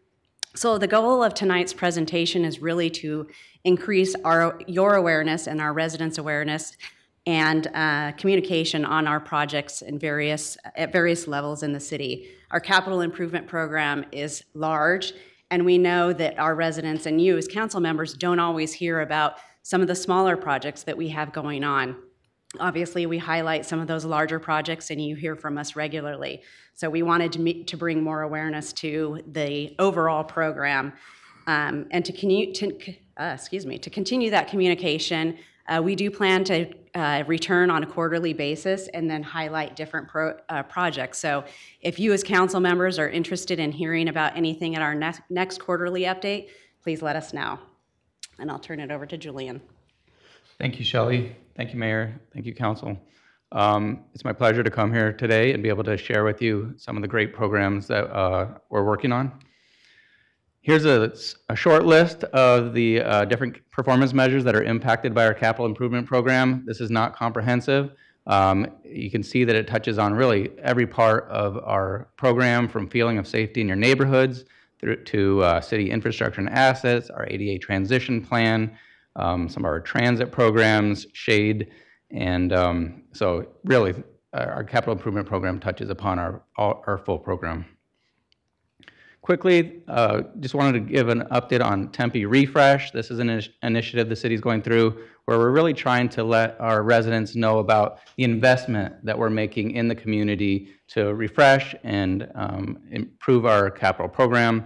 And so there's four main objectives of that program. The first being just to increase that community awareness, um, let our residents know that we are investing in the community. We're spending millions of dollars every year and um, improving the quality of life for our residents. Also, incre- increasing the positive feelings. Um, sometimes our, our projects are inconvenient. If we're driving down the road and there's construction, that's inconvenient. But just understanding that in the long run, the, the investment uh, will result in a better road, right, for longevity. Um, so just um, understanding that there's um, the inconvenience really is positive in the long run. The third being public participation. Uh, we, I think we do a really excellent job as a city of Tempe. There's always opportunities to improve, but just including uh, our residents in the process. And then finally, um, many uh, hours are put in by our City of Tempe staff at all levels of the organization, and just making sure that um, that they're being engaged in the process and being recognized. And here's just a few pictures uh, uh, that you might have seen while going traveling in City of Tempe. On the left is uh, refresh in the downtown. The center is a refresh project at one of our parks, and the third is a pavement project that we have in the city. So we're really trying to get uh, that refresh message out to our community. Quick update on our capital improvement program. I don't think this is new to our mayor and council, but I did want to share this with those in the audience and those um, listening. Uh, we have a five-year capital plan. Only the first year is actually adopted, uh, and we call that the, um, the first year constitutes the capital budget. And then the remaining years we use as a guide for planning as we um, move forward with the program. And so our current capital five-year program, um, this hasn't been updated, so this is through the end of the fiscal year that's uh, currently ending later this month, but is approximately $1.3 billion in the five-year program. Um, and you can see listed on the screen the different uh, programs. So uh, as small as 600K for solid waste to as much as 325 million in our water program and varying sizes in between. And so I did want to point out that uh, we do anticipate a bond election in November 2024 that does impact the five-year program. Here's a highlight of just our 22-23, and you can see on the bottom, our capital program this year was uh, just over $461 million. And I did a little bit of research, and just six years ago, in fiscal year 16-17, our capital program uh, was just over $143 million. So just in the last six years, our capital program has tripled, more than tripled um, in monetary value. A little bit of our engineering uh, division. So our primary uh, goals as they relate to the capital program are studying, planning, designing, procuring, and then constructing projects. And then along with the team that uh, the teams that do that, we have support services that includes our contract staff, right-of-way, utility, survey, and GIS. So as Shelley had pointed out, a lot of times we hear about just the larger pro projects, but we really, at any given time, have many projects. And there's actually a full list of the projects in uh, your packet as well, and that can be referenced by our uh, residents online. So we have 167 active projects right now. And so they're in varying stages. Um, you can kind of look at the graph on the right, but between study and planning is about 25%, about a quarter of um, our efforts. Uh, in design, we have 44 active projects, which is, again, about a quarter, and then we have 85 that are in the construction phase, which is about half our projects. So again, 167 projects is um, no easy task. We're up to the task. Um, and so, uh, and, and I'll, further in the presentation, you'll see just how comprehensive, how all the different um, parts of the community are touched by our program. Along with those 167 active projects, we have 259 active contracts. So um, many of our projects, especially as you can imagine in the construction phase, we may have third-party construction manager, uh, construction materials testing, post-design, and construction. So um, with those 167 projects, again, 259 active, active contracts. So now the rest of my presentation, I'm just going to touch upon some of the projects in varying uh, phases. Um, so we have some projects, for example, on this, these next two slides are recently completed capital projects, and this is, again, not comprehensive. I just uh, picked uh, four of the ones um, that are kind of more high, high, profile, but there's definitely other ones. Um, so examples being the Tempe Center for the Roof, or for the Arts, the roof rehab project, our library camp, campus uh, landscape improvements, water line replacement in our neighborhoods, as well as uh, the widening of McClintock Drive. So again, here on the bottom of the screen, this is just some of the photos from our Tempe Center for the Arts roof rehab project that uh, was a significant investment um, to preserve the programming and all the great things that get done in that facility. The next one is the library campus. Um, I don't know if you've had a chance recently to visit there, but this project really turned out nice. You can see in the photos here, it's lush, it's green, um, it's got desert landscaping, and um, really just has improved and refreshed that uh, campus there. And then again, here's just some additional uh, recently completed projects, again, not comprehensive, uh, but it, touches upon our playgrounds investments, uh, simple items like fixing our roofs, making sure doing structural repairs, um, water valves, chilled water loop that recently crossed Fifth Street to serve our downtown, um, multi-use paths, ADA improvements, uh, fuel tank replacement. So you can see our, our capital program touches on many, many elements. Next slides are going to just uh, touch upon some that are finishing up. So real excited about the Envision Center Resiliency Hub. Uh, the construction is complete on that, and we're actively working on uh, furnishing that facility. And so I was excited to see that recently um, on a couple news stories. Um, in the picture here, that you can see that in the middle. On the left is how we started that project. You can see the um, the, the floor was in bad shape. There was wires. Um, a lot of investment went into really creating this facility um, that we have today to be able to activate that and um, serve the members of our community. And then on the right, there's a, a, a picture of the outside. And then Alameda Streetscape Project, uh, we're anticipating that project to be completed in August. Um, that runs all the way from 48th Street on the Phoenix border to um, Rural Road. And um, it, it, we've been able to tie it into the uh, ADOT project even to add that continuity, connect those neighborhoods that were historically divided by the I-10 freeway. And so some photos here that show the new bike lanes, um, some vegetation that's been added along there to improve shade. And then again, excited to have that um, connection over I-10.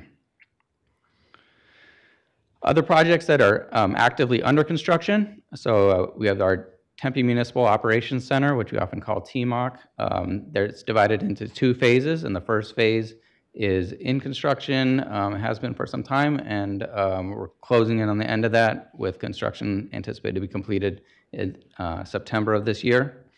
Um, also, Clark Park is another exciting project that we're looking forward to have um, done. That includes uh, park improvements, recreation center, as well as a new swimming pool in Clark Park with estimated construction completion um, in October of this year.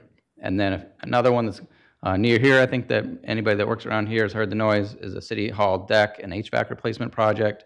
Um, That one is s- split up into phases, and we're actively working on the HVAC as well as um, the deck will be done, is being done in phases with the first phase under construction now. And um, also uh, just various restroom updates in some of our fire facilities. Now, getting into beginning of construction, um, Fire Station 2 has just kicked off. Um, That construction will uh, last from 2023 through July of 2024. A very exciting project, a very unique project in that we are constructing the new fire station on the same lot as the existing fire station. So um, doing that in phases, working closely to ensure that our um, fire medical rescue can continue to function and serve our community while at the same time providing them a state-of-the-art facility uh, when this is done. And then we also have some water line replacement, North Tempe Water Line. That one just started construction to be completed next year, as well as um, Diablo Stadium parking lot. We're doing some improvements there. Some spaces were lost as a result of the ADOT widening project, and we're um, restoring those with uh, some additional parking. And then actively in design, I'm not going to go through all these in, uh, just for time's sake, but um, as you look through this, I think that you'll see that, um, again, just every part of our community is touched, whether it's, um, you know, pedestrian improvements, um, both in the downtown and other parts of the community. Um, Roosevelt Storm Drain Project, you've heard a lot about. Um, We have granulated activated carbon at our water treatment plants, pedestrian signals. So just again, these are just a, a, a small handful of the design projects that our team is actively working on. So at that, um, that's the end of my presentation. I'd be happy to um, any questions, comments. Uh, if you're interested in any tours at any time, um, we're happy to accommodate that. And our next planned quarterly update is uh, September 28th. Sounds good. Thank you. Great presentation. Really appreciate it. I have one quick thing, and I'm going to go to Vice Mayor Adams. Um, Julian, is there ever a situation, or Shelley, where there are there are um, we already have bond authorization or the money to complete the capital improvement projects, but we don't have the staffing to actually finish the or not finish the projects, but actually kind of go faster? Because sometimes you know we'll hear from residents, "Hey, we would really love to get our streets repaved a lot faster, or resurfaced, or another project accelerated." So, are there times where we absolutely already have the bond authorization, so the money is available on the capital side, but we just don't have enough money in the operating budget to actually go out there and push those projects through faster? Yeah, we're always taking a look at our staff and trying to deliver that program. And, and actually, I want to thank the mayor and council this um, um, operating budget. We were successful in getting another uh, project manager, a civil engineer, that is going to help us to uh, move forward some of those projects. Uh, it seems like more often than not, we're running into just some of the um, issues on the construction side with long lead. Um, and so I think on the design side, we, we, we're doing a pretty good job of, of moving those forward. Um, but you know, uh, we're constantly taking a look at our, our existing staffing and trying to make sure that um, we're doing the best we can to deliver the projects. But I appreciate that question. Sounds great. Thank you. Vice Mayor Adams? Yes, uh, I'm very excited that we're going to do quarterly reports on this. I just, I really appreciate that. The communications is going to improve greatly. I don't want our residents to be guessing all the time, like, is this going to happen? You know, and to have the reports and, hey, we are um, putting our money where our mouths are and, and we're getting things done. So I'm, I'm super excited about this. Um, Of course, the CIPs are very near and dear to my heart uh, since I was involved in the process for many years. Uh, I'm just, I, I'm asking a Ken Jones question right now. And uh, Ken was always uh, focused um, during our CIP meetings about the, the percentage of product, projects that were completed. And I'm wondering where, where we are um, with, the- with our completed projects? Like, are we getting them done in the timeframe um, that we're, we're, um, you know, st- phase one, phase two? Mhm. Are we, are we getting them done in the timeframe that's being allocated with the CIP money that we, we've given? Um, that- Councilwoman, or Vice Mayor Adams, thank you. That's a um, very good question. Um, We definitely, it kind of depends on the funds. Some funds, we do, we're able to do a better job of spending the dollar amounts. Um, Some of the other ones, um, we struggle. And, and again, it's, it has to do with um, the, the types of projects, and sometimes it's the dollar amounts. You can imagine if you have a, a $90 million you know, project, it's, you're getting, it's easier to spend uh, the funding authority as opposed to if you have uh, a lot, a lot of smaller projects. And so um, it is something that we're tracking. We, we have a, a, a performance measure of a 90% spend on our capital program. And uh, so it's something that we are continuing to track and try um, to meet that. And, um, you, you know, it, one of the, problems that we run into sometimes is uh, we get to this time of the year where it's July, we get a, a whole bunch of new programs. I just mentioned we already have 167 active ones. So sometimes it's just a matter of trying to finish the ones that we have before we start the new ones. And so um, it's, uh, it, it's something that we're constantly uh, tracking and um, we're trying to be cognizant of spending the money that, um, that our community has asked us to do. And do- where are we at with the, I know our goal's 90%, but where are we, would you say, with um, our numbers on the projects? I don't- I'm going to invite um, Mark Day up to uh, Hey, Mark. answer that one. Come on up. Good afternoon, Mayor and Council. I believe, don't call me on this, but I can uh, definitely get back to you. We're probably around 60, 65%. Okay. Could we include that in, in for future uh, presentations, so, just so we know? And, um, and construction costs have gone up what percentage in the last year? That, you guys know that? Oh, um, again, it's project uh, specific, but I'd say that we're seeing about a 30 to 35 percent increase in construction costs. So, um, we're and we're. I think that it's I've gotten some feedback that it's starting to kind of slow down and and become um, more predictable, but it is something that um, that we're we've been dealing with uh, for the last couple of years. And I think that's something that's important for our residents to know also, that we are, de- we are dealing with huge increases in our construction costs. And that has really hampered the budget and the, you know, the progress that, you know, we're trying to make. Uh, But um, that's good to hear that they're maybe leveling out at least. Uh, So that's, that's great news. So like I said, I really, really am excited about these quarterly uh, presentations. And, you know, I love the numbers. And uh, great job. Thank you. Thank you. Thank you. Councilmember Garlid, then Councilmember Hodge. Hi, so the thing that made me most excited about this presentation was to see the Envision Center on there and that it's open.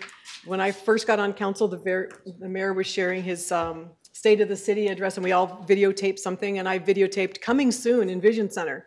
And this second year, I got the same thing. Hmm. I got to tape and say almost the exact same thing about the Envision Center coming soon. And I know that that was a lot of, I know the roof was not what we expected it to be, so that cost a lot more to get fixed. And I just want to say, I'm so glad that that's there, not just for being able to say that we've got it done, but just what it's going to give to that community. I, I'm just, that makes me so happy. So I'm so proud about that. Um, I just want to say that it's really, I like the pylons that have the refresh on it because I have walked in downtown and seen those. I'm like, that is such a great idea because people see the pylon, see that it's refreshed, know that we're doing something and we're trying to make the city better for them. So thank you so much for that. Um, and I remember um, uh, Council, uh, Councilmember um, Arredondo Savage used to say all the time, we need to tell our own story. And I think, um, I don't know how many people have been to um, the Refresh Tempe page on our website, but you guys are definitely telling the story. Um, and as the Councilmember Hodge, uh, um, Adams was just saying about the getting out and like letting the residents know what we're doing. I love how this page has the Refresh Tempe dashboard where you can click on it and click on what you're interested in, and then that goes to the map, and you have all that information so we can see where the progress of that is. I, I just, it's amazing. I, I- love it. I don't know how many people know that it's there and how many people are looking at it. Um, I, and I don't know if this is um, for you or somebody else, but is there an easier way to be able to access that? So if I type in www.tempe.gov forward slash refresh, nothing comes up. If I do refresh Tempe, um, or refresh dash Tempe, it comes up um, as another page that I need to click, and then it goes into, it'd be great if we could share, all of us could share, you know, go to tempe.gov forward slash refresh, and they can see this incredible web page and dashboard that you guys created. So that's just a recommendation. Definitely, we can Thank work on that with our marketing team for sure. Great, thank you. Great job. Thank you, Councilmember Hodge. Oh, thank you so much for the presentation. My thing is, I just want to set up tours. So um, can you, um, I'm one of the people who would love to go out and, and look at the different, um, you know, projects that we've done and what we're working on. So, and um, I was going to say the same thing that Councilman Garlid said about going into refresh. It is, it is, people are commenting on it. They're really looking at it. So to make it easier, I know, um, I know we do like things in our water bill, but can we just have like a page that shows refresh and like something we have just created, just finished at that moment that's highlighted in it in the water bill or something to continue on. But great job. Thank you. Oh, Councilmember Garlid? just wanted to respond to that. Um, Our backstage pass, the next event is going to be a hard hat tour of Clark Park. So I will let you know, and we'll publish the date. I will invite you. All right. Sounds good. Anyone else? Further comments or questions? Great job. Wonderful. Thank you so much. Appreciate Thank it. Thank you. And I think And we're going to stay I was up thinking, here. Julie, before you, before you go anywhere, we're going to move forward to item 3D, which is scooters in the right-of-way. All right, thank you again. Um, So the vice mayor had asked us to, and had raised some concerns on May 11th regarding the safety and the parking of scooters in the right-of-way, and we're here tonight to provide an update to you on steps we're taking to address those concerns. Um, Julian's going to go through some of the requirements that we have placed on the scooter companies, but we recognize there's also work to be done with the users who park the scooters. So um, we'll also address the next steps that we're moving on with that as well. Thank you, Shelley. Thank you, Mayor. Thank you, Council. Um, As Shelley pointed out, we're going to talk a little bit about scooters today and some of the efforts that we're working on to uh, deal with some of the concerns that uh, Vice Mayor Adams brought up. So as far as performance measures, um, the scooters really are part of our 20-minute city, providing access, different um, access options to members of our community to uh, move around the city. And then I also put ADA transition plan into just showing how sometimes some of our performance measures are impacted. So in this case, sometimes the scooters are left and become, we've heard concerns that actually um, they have impacted access uh, to members of our community. So um, trying to make sure that uh, we promote things that um, help with 20 Minute City, but don't then negatively impact some of our other performance measures. So our current licensing guidelines, so um, our license program is actually called Shared Active Transportation Vehicles, or SATVs, and um, there's different items that fall under that, and scooters, electric scooters is um, one of those SATVs. And so the current licensing guidelines were approved by the City Council back in January of 2019. And there's a number of requirements um, for a company that wishes to get a license in Tempe, including a completed application that makes sure that they have insurance and there's indemnification um, language in there. Uh, there's a data sharing component. They pay an annual application fee. And then there's a right-of-way use fee. Since the scooters are in the right-of-way, um, there's a dollar eighteen, and that goes up each year um, per vehicle per day that's staged in the city of Tempe. We currently have three companies uh, with active SATV licenses. Uh, We have Bird, which you'll see are typically the black silver scooters, um, Boaz Bikes, which are the blue scooters, and Spin, which are the orange scooters. Um, Up until recently, we also had the red scooters, which was Razor, um, but they recently made the decision to uh, leave the Tempe market. And we are continuing to get uh, other inquiries from other um, vendors that um, may uh, participate in the program. The way our licensing is, uh, we don't have a limited number of scooter companies. It's just if they meet the requirements as listed on the previous slide, then they can get a license to um, work in City of Tempe. I'm not going to exhaust you with this. Um, There are 12 requirements in the SATV license agreement. They're all in your packet and available to the community um, on our website. But just a few main points. There, you know, we do require that the operators stage um, the SATVs upright and facing the same direction. Um, They're not, they're supposed to be in groups of no more than 10, and then those groups are supposed to be at least 150 feet apart. it says in the agreement specifically in the downtown between, on Mill, between University and Rio Salado, that they're supposed to be staged at or near the bicycle racks. Um, The operators uh, have to stage um, the vehicles so as not to block or impede pedestrians or impact ADA. So that's part of the agreement that's supposed to be in place. Um, And then they're supposed to educate their users on how they're supposed to um, effectively park the scooters. And finally, each scooter is supposed to be touched at least once in tw- in a 24-hour period to um, pick them up where the users have left them and restage them um, per the requirements.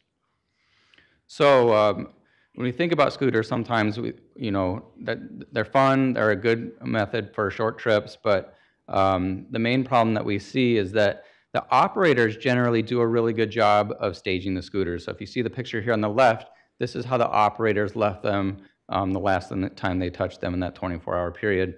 But the users often um, leave them wherever they uh, desire, and some do a good job of, of leaving them in the right spot, and some, you can see the picture on the right, uh, were kind of left in uh, disarray. So the question is, how can we try to encourage um, both pictures to look like the picture on the left? And so um, we, we talked among staff, we looked at what other cities were doing, and um, we're actively implementing a corral system in the downtown. And so um, the locations are being determined right now uh, by our transportation staff. Um, we've determined that these, this is a successful um, uh, program, and that's been shown both in the United States and in other parts of the world.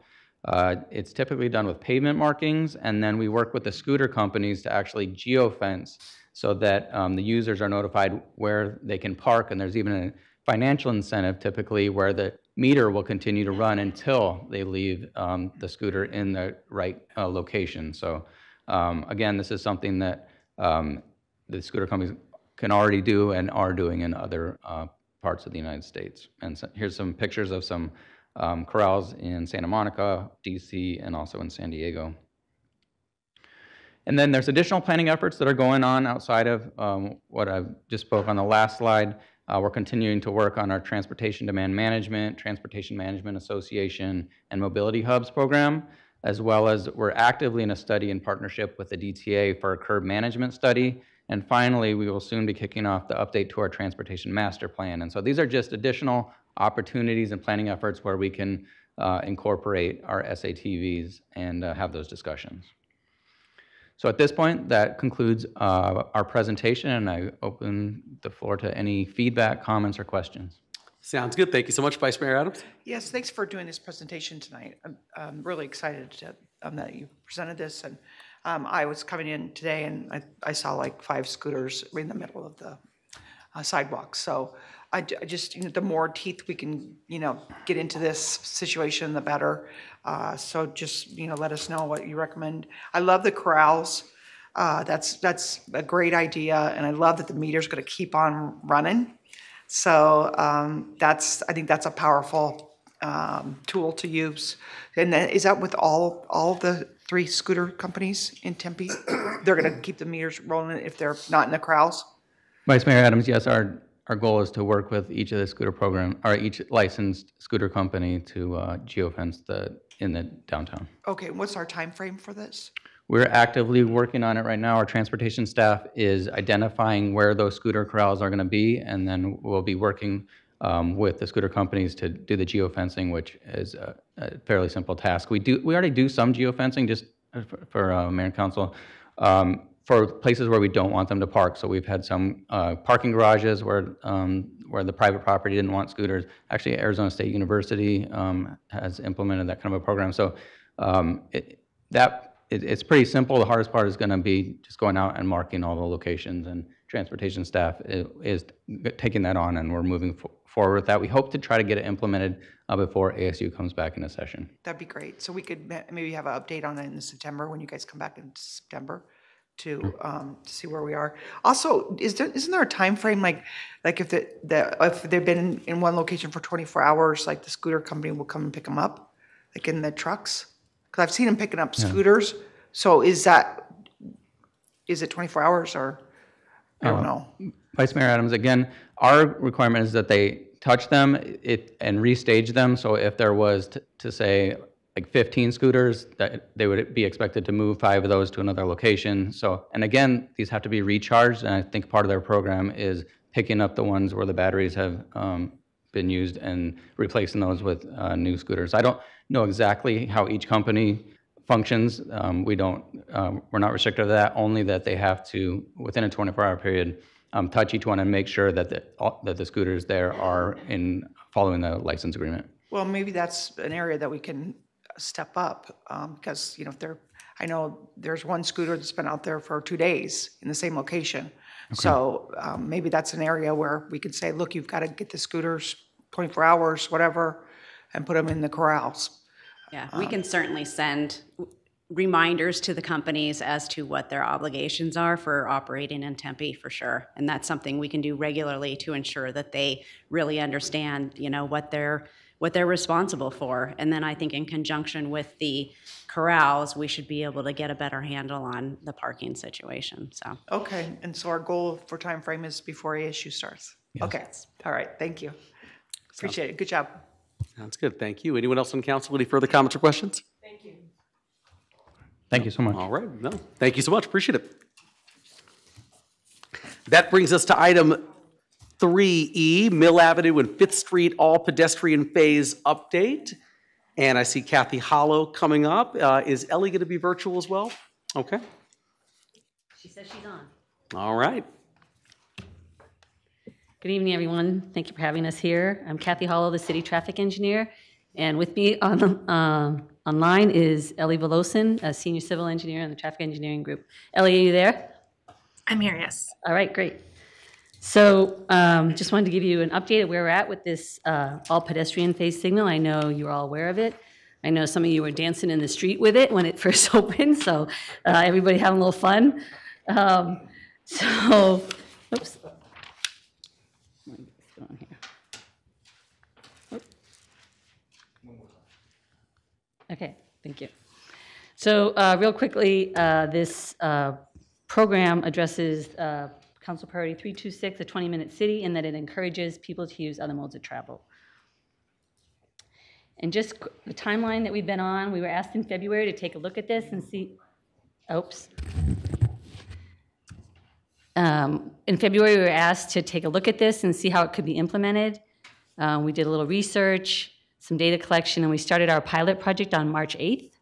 Um, And then the pilot actually ran for a month, March 8th to April 4th. And we did some data collection during that time as well. We also had a public survey open during that time. Um, So the actual survey ended on April 4th. We still have the, um, the scramble in place and are kind of presenting here to see uh, what kind of direction we might get tonight.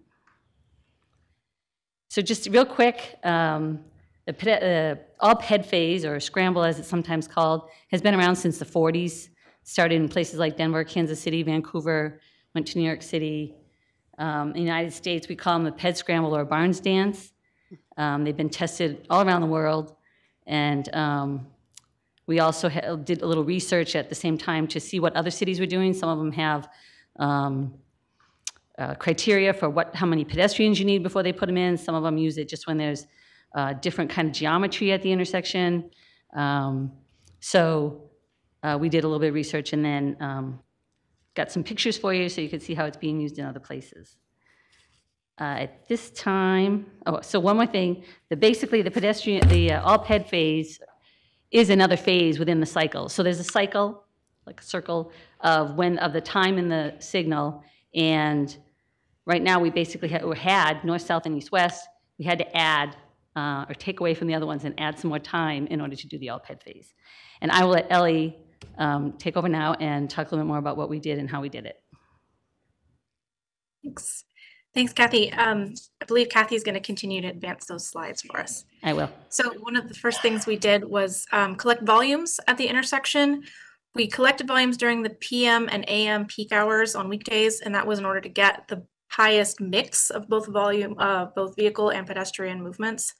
Um, we had the highest pedestrian crossing we had was in the PM peak hour with 143 pedestrians crossing that west crosswalk. We typically have um, about two thirds of all the crossings take place going north south, crossing Fifth Street, and one third uh, going east-west crossing Mill Avenue.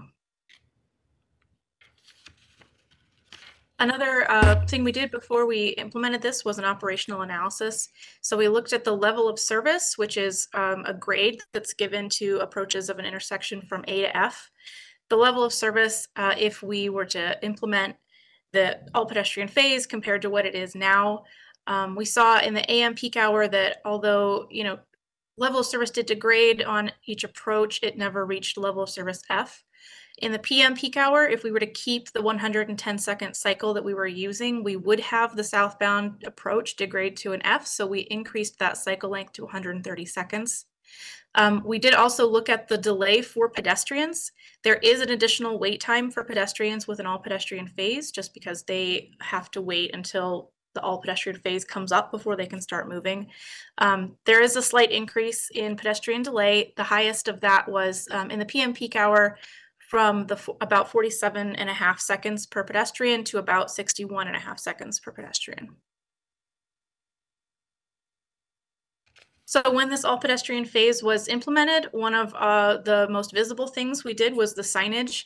We had a very large 24 by 36 signs, two on each on each corner, and they included a QR code um, that took people to the survey that we um, put up on the website so that they could tell us how they felt. We learned that these signs uh, did start to disappear pretty quickly and they continue to disappear pretty quickly. Um, so we've continued to replace those. We've gone to a, a smaller format and one on each corner um, to try and keep that efficient. We also put in no turn on red signs um, because a way all pedestrian phase is most beneficial is to make sure that there are no cars turning when there's a pedestrian movement happening. So all turn on red or no turn on red signs are on uh, construction tripods on each corner and also overhead on the mast arms facing each direction of travel. Our uh, transportation maintenance crew, our signal technicians did uh, really jumped in and, and took care of the wiring and the cabinets to make this work. Uh, our pedestrian clearance times were increased to 34 seconds to allow enough time for um, every member of our community to cross diagonally if they so choose. And the cycle length, as uh, mentioned, was increased in the PM peak hour from 110 to 130. And during all off peaks and weekends, we were running a 94 second cycle, which doesn't fit all of the all the movements. So all of um, the rest of the time, it increases to 110. Um, and in order to, as best as possible, maintain the progression along Mill Avenue, we also increased the cycle lengths and adjusted the offsets um, along at 7th, 6th, 4th, and 3rd. So we know there are some current challenges to the way it is, um, the way the intersection works today. Most of these we could address with some structural changes if we decide to keep the all pedestrian phasing. Um, so some of those are first that the intersection is on pedestrian recall. So all of the intersections along this corridor of Mill Avenue are on pedestrian recall. And that just means that we don't require people to push a button. They are going to get a pedestrian walk signal on every cycle. Um, and that's to be more pedestrian friendly. But because we don't have button activation, we are giving uh, the all pedestrian phase in every single cycle, even when there's no pedestrians present, which could potentially cause motorists to be um, frustrated when they see there's no one using the signal. Um, another is the presence of streetcar. We uh, just have to make sure that any signal timing adjustments we make um, maintain the progression for the northbound streetcar and maintain the cycle length needed and the um, the green time needed for the streetcar to go through and clear the intersection. And then finally, accommodations for the ADA community. We don't currently have high visibility crosswalks striped in the diagonal, um, which is something that if we decide to keep this permanent, we will definitely move forward with. Also, if uh, someone using a wheelchair or any wheeled device decides to cross diagonal, they will have to cross the streetcar tracks at an angle, which we know can be a challenge. So during the implementation, we did quite a bit of, um, of data analysis to see what how it was operating. The first is the queue lengths. Um, you can see kind of the the feet of the queue that we observed at the highest um, highest queue observations there. But in general, on the east and west side, the queue spilled back to the Maple and City Hall crosswalks respectively. And then in the northbound direction, the queue was reaching about halfway between 9th and 10th Streets. And in the southbound direction, um, about to that second Hayden Ferry building right before the bridge. So we did see traffic backing up through University and through Rio Salado. Um, we did notice a bit of a challenge with compliance. We did some preliminary observations of compliance for all modes of travel that are using that intersection. And we did see some non-compliance for all modes of travel, some right turning on red from vehicles, pedestrians crossing outside of the crosswalk or outside of the pedestrian phase. Um, and this indicates that if we decide to keep this pedestrian phase permanently, we need to um, move forward with some additional communication uh, about how this should work and the best ways to keep everybody safe at this intersection. We looked into travel time. Uh, we were able to use the RITIS software, so that uses connected cell phone data. Um, so we were able to get some pretty uh, high fidelity travel times in the area. So you can see on the top, that's the northbound direction. And we're showing weekdays here, but we have the same data for weekends and it's very similar. Um, in the northbound direction, we saw an increase in travel time by about 60 seconds between the times of about noon to uh, 10 p.m. In the southbound direction, we see that same increase, but for a longer portion of the day from about 8 a.m. until the end of the day.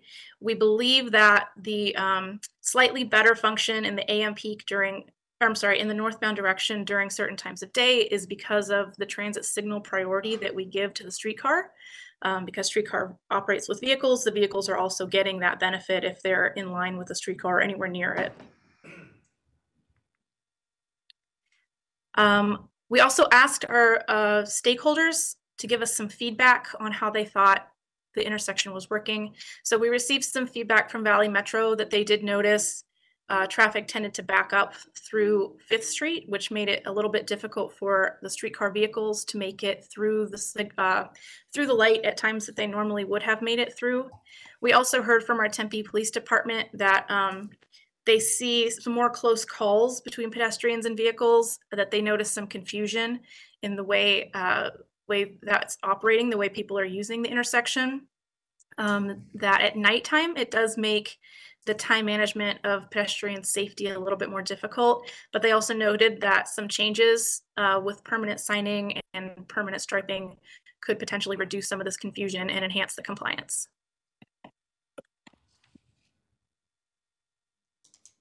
Uh, some more stakeholder input we got. We um, were able to talk, DTA helped us out with talking to some of the businesses along Mill Avenue, and you can see there are some mixed mixed feelings. Some of the businesses said they it really backs up traffic. Some of them said they really loved it.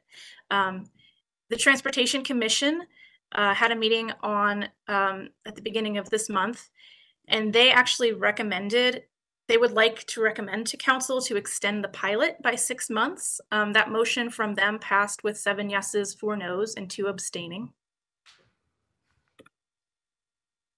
And we also, sorry, we also asked the um, the mayor's committee on disability concerns to provide some feedback. The um, the individual members, not as a committee, but some of the individual members did let us know that they are not opposed to it, but they would like to see. They had some concerns. They'd like to see some changes made if we decide to make it permanent, which is a theme we're hearing um, from a lot of our stakeholders. So to take a look at the survey that we did for public feedback, we had 149 total responses. We asked people, as a pedestrian, do you like it? And as a driver, do you like it? So um, if you look at all survey responses, about 60% uh, of people who are using it as pedestrians say they do like this option. If you look at people who are using it as drivers, it's close to a 50-50 split. They do or don't like it. And we do have it broken out there by different um, different populations within the city. Um, we also looked particularly at the users who report that they use this intersection every day. Um, and so if you look at those responses, we had about 55% who use it every day as a pedestrian say they do like it. Uh, and about 25% of those who use it every day as a driver said they do like it. In addition to asking, do you like it? We also asked, what would you prefer? So those are on the bottom. Um, people who said they would prefer the all pedestrian phase are in the bright orange, and the people who wanted to go back to standard phasing are in that light blue color. So if you look at the responses from all pedestrians, um, uh, more than 50%, slightly more than 50%, said that they would like to keep the all pedestrian phase. And again, same story. If you look at those who use it on a daily basis, um, more than 50% said they would like to revert back to standard phasing. So I'll hand it back to Kathy for this part. So just to wrap up here, we uh, feel like there's three options for us right now. One is to make the all PED phase permanent. Um, The second is to revert back to what we had before. Or the third is to continue with um, up the pilot uh, for an additional six months before we make any permanent changes. Sounds good. Thank you so much. Let me go to Councilmember Keating and Councilmember DeVar. Thank you, Mayor. Um, You know, this is something that I, that I'd asked that we, we take a look at however long ago it was, I guess more than six months, right? Um, But I am concerned with PD's feedback. You know, Public safety has to be what we're focused on and I, the last thing we need is an accident or something like that, you know, that, that someone ends up with an injury because of this, because maybe they're confused, or as they even said, that they're seeing people not comply with how it's supposed to work. I, I don't, I don't know if continuing it as is for six months makes any sense, because i- is behavior gonna change over that six months? Why? Like, I, I just don't see it. I, th- I think I would have to say, my preference would be to revert back to standard phasing. Uh, I would be open to some sort of plan to make it safer. If we can make it safer, I'm not too concerned about the delays in traffic and things like that. And that's to be expected. Um, but if we can, if we can come up with some way to make it safer to the pedestrians and, and to the, the folks in cars, I could be swayed in that, in that direction. But for now, I'm gonna say my, my first pick is two and my tentative second pick is one, Mayor. Thank you. Sounds good. Uh, Councilmember Navarro? Is there a pick where certain times of the day it can be this and that? You know, actually, we have kind of talked about that, if we could do something different in the evening, and that would, we would have to have the push buttons in order to be able to do that. And so that would become part of the permanent installation if we did that. Yeah, I was just. And just, I think, Go ahead, Ellen. sorry. I was gonna say, I think what we as a department talked about was if that were the case, we would have difficulty explaining to the public when they can cross diagonal and when they can't. Yeah. We wouldn't want anyone to make that mistake and, and get hurt, obviously.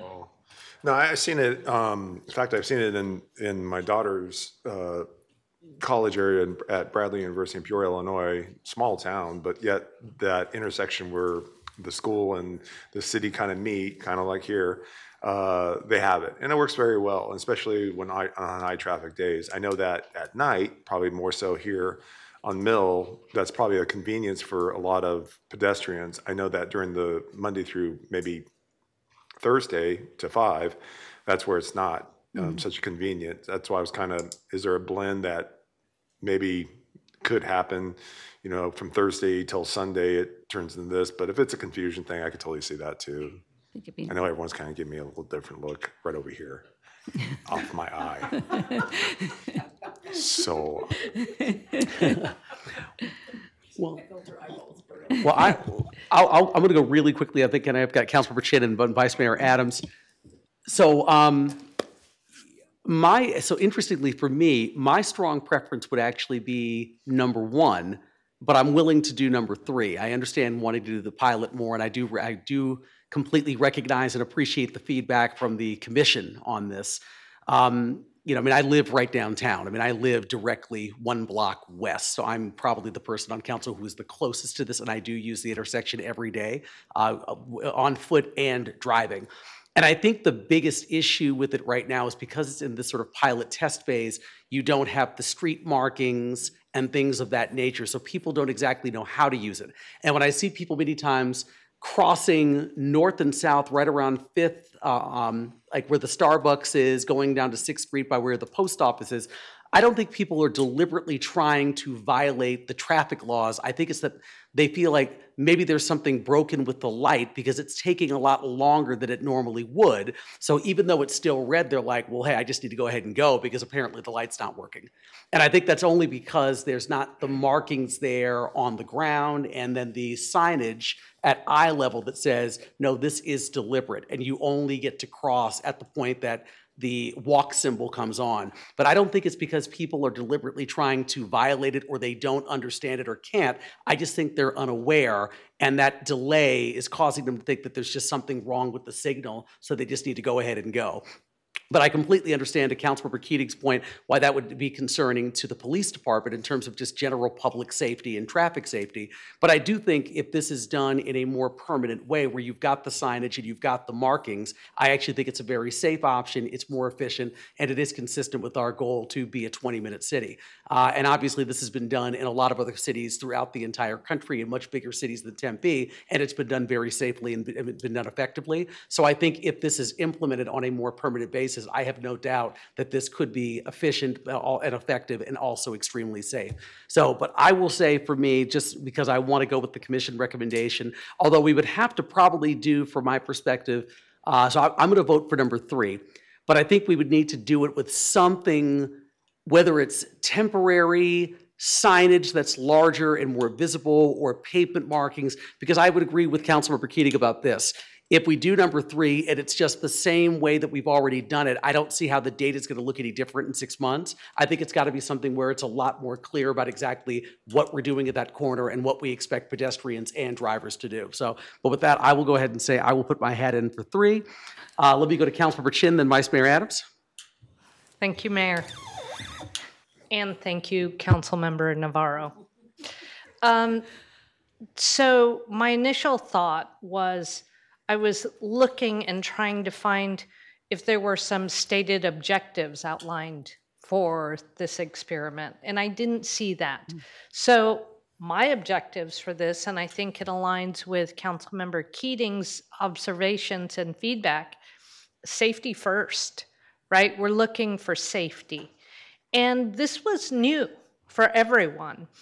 And people have a hard time with new things. Mm-hmm. So I mm-hmm. think I'm inclined to give it six more months, but we have to add, after what we've learned in this first couple of months, how do we test it differently moving forward? I think you have to somehow add the pedestrian recall. Because if motorists see that there's no, there are no pedestrians, but the pedestrians get an extended green light, that's frustrating. And it seems broken in a way. Um, also, I just think it takes some education. Uh, to Councilmember Keating's point, I noted the police feedback, and I and I wonder how much of that is attributable to being new, brand new for people, new experience. Overall, looking at how this is done broadly in in very busy cities with high density, eh, and they do it successfully. I'd like to give it another six months, but with some improvements. Hmm, Sounds good. Let me go to Vice Mayor Adams and Councilmember Navarro. Yes, I'll be, I'll be brief. I just, um, the police feedback is very important to me. I mean, our, taking care of our residents and um, safety is uh, not the number one concern. And uh, so I'm gonna, I'm gonna vote for number two. Thank you. Okay, sounds good. Uh, Councilmember Navarro, then Councilmember Hodge. Yeah, thank you, Mayor. No, I, I kind of feel what's been said here. I, I think that it is an educational thing. I do agree with the safety thing. I know that the areas I've seen it at, it works. Everyone knows it. It's, it, it's like the streetcar. I didn't know we can drive behind it. It works, so I do. But, um, it's just that, it's just that time of thing. Um, so I think, yes, with the, probably, I lean to three, a little more bolstering of, hey, this is what we're doing, this is how we're doing it, you know, it, I think, to be honest, with you, the big thing, if we had painted side, if, if the lines were painted, it's really indicating it's an all crosswalk. It really, I mean, when you come up to it, you just really don't know besides the signs and they're, they're kind of, you know, if you're not really looking for them, you're, you're going to miss them. If you're in your own world, you're going to miss them. Um, so I, I, you know, I hate to say it, but I don't know how you can get the paint back up off the bricks, but anyways, stickers. They do have tape, but we'll see. Yeah, I- yeah. I I don't know how it sticks to the brick. The other thing too is if this is something we invest in, whatever that investment is to make it a little more safer for that pilot, my other thought is, is there other intersections that might be able to do the same thing so we're not losing the value of those tested equipment? You see what I'm saying? Mhm, So that's something mhm. to look at. Yeah, we haven't really looked at other intersections yet. We're kind of waiting to see how this one went over with everybody, so. Sounds good. Thank you. Councilmember Hodge, then Councilmember Garlid. Um, I, I feel the same. I think that we should, uh, I think the safety is very important to me too, but I think we can do it. I, I really, I mean, you haven't seen Councilmember Garlid and Councilmember Chin when we walked across like the monkeys, okay? So no one saw that, but it was cool. I did see it. Um, but I honestly believe that it, with, with, with the right markings, the right safety, I think we can. It is, it is done, and I've seen it in other cities being done. I think it's just new, and I think that the more we continue and have the markings, I think that we can continue it. So I, I'll go with three, too. Okay, thank you. Councilmember Garlid? I say the same thing. Safety is important to us. I think we can do this. Um, I think it's just people learning. I, I, I, um, I will admit, I walk to Starbucks quite a lot when I'm here during the week. Um, and I, st- I still get a little bit confused or a little nervous. It's like I look up, as soon as I see like the 34, I know that I can go, um, and go directly across the Starbucks. So I, I think that, you know, better marking, some other signs, something to make it a little bit more, uh, like it stands out a little bit more to everybody, I think that would be great. Um, so I, I would go for the, um, number three, but with, you know, any other recommendations we can get from our, um, police for- department also. Okay. Sounds good. Well, it sounds like the consensus is to go forward with uh, option number three, that we'll continue the pilot for an additional six months, however, with um, kind of increased uh, signage and pavement markings to really clearly delineate exactly what we're trying to accomplish at that intersection. So we're doing more education and people know exactly uh, what's happening there with the Barnes dance, which I'd never heard before. So I appreciate, Kathy, you taught me something new this evening, so Barnes. thank you. Henry Barnes, started by Henry Councilmember Barnes. Hodge? And if you need someone to do a video, the three of us yeah, are yeah, I- I willing to did come catch and do a that. Yeah, video. I caught that That's- video. I was- And That's right. and we'll have to good. rename it the Hodge Dance, so. Okay, thank you, Mayor, council Thank you, members. Kathy. Appreciate it. Thank you, Ellie. Thank you. All right, next item on the agenda is called the audience for committee of the whole items. There are no items ready for city council direction or status update this evening, so I'll close that item and move to the next, which is item 5B, council committees in progress, updates as needed. Uh, Are there any council updates on items 5B1, 5B2, or 5B3? Committees? Committees, yeah, for us. You have one? Oh, just one. well, Councilmember request. Navarro? It's a request, though.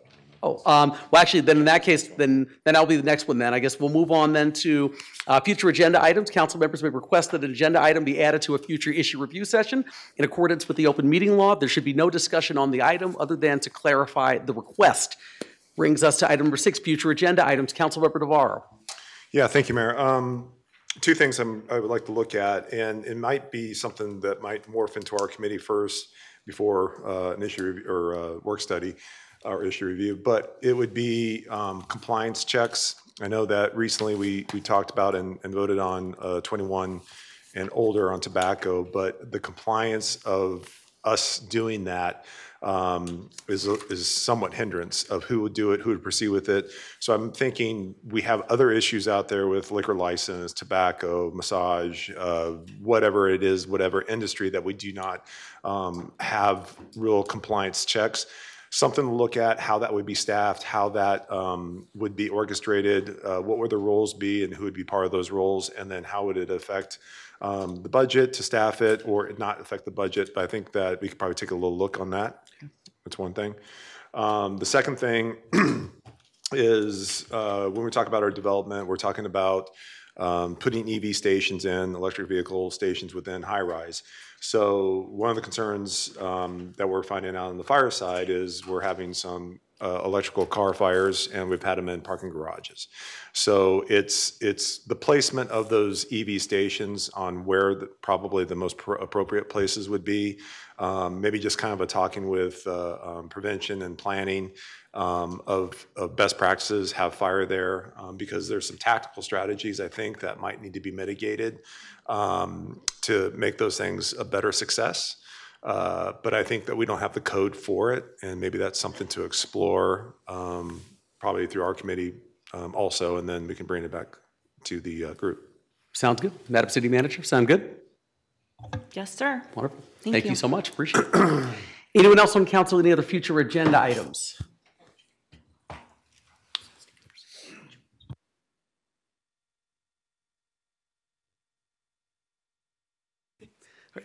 Okay, next up then, item number seven, announcements from the mayor and/or city manager. I did my announcements earlier, so Madam City Manager, your turn.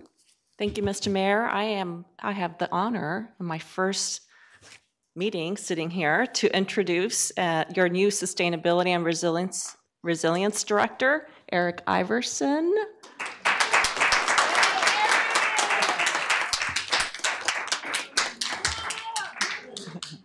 Eric has served our city uh, in the transit area for 28 years. He, no one is more, when we were talking about branding, I was, I was thinking, I have the honor of introducing Eric as, a new director in this role, but he is the brand of Tempe, right? As a public servant, as, as a diehard Tempe resident, and uh, he became quickly the face of light rail and streetcar. I think he holds the record of presentations to council. I think I counted 52 about few years ago, just on one project. So when I think about Eric, projects and people, um, he gets things done and he has this tremendous care for the community, our regional partners and businesses. So congratulations, Eric.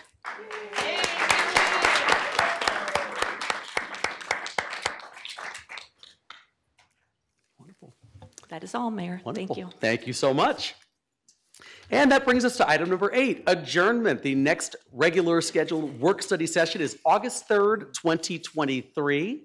Uh, This is our last meeting for quite some time, council, until we come back for an RCM in late July. So for everybody watching, please enjoy your summer. We'll see you in a few weeks.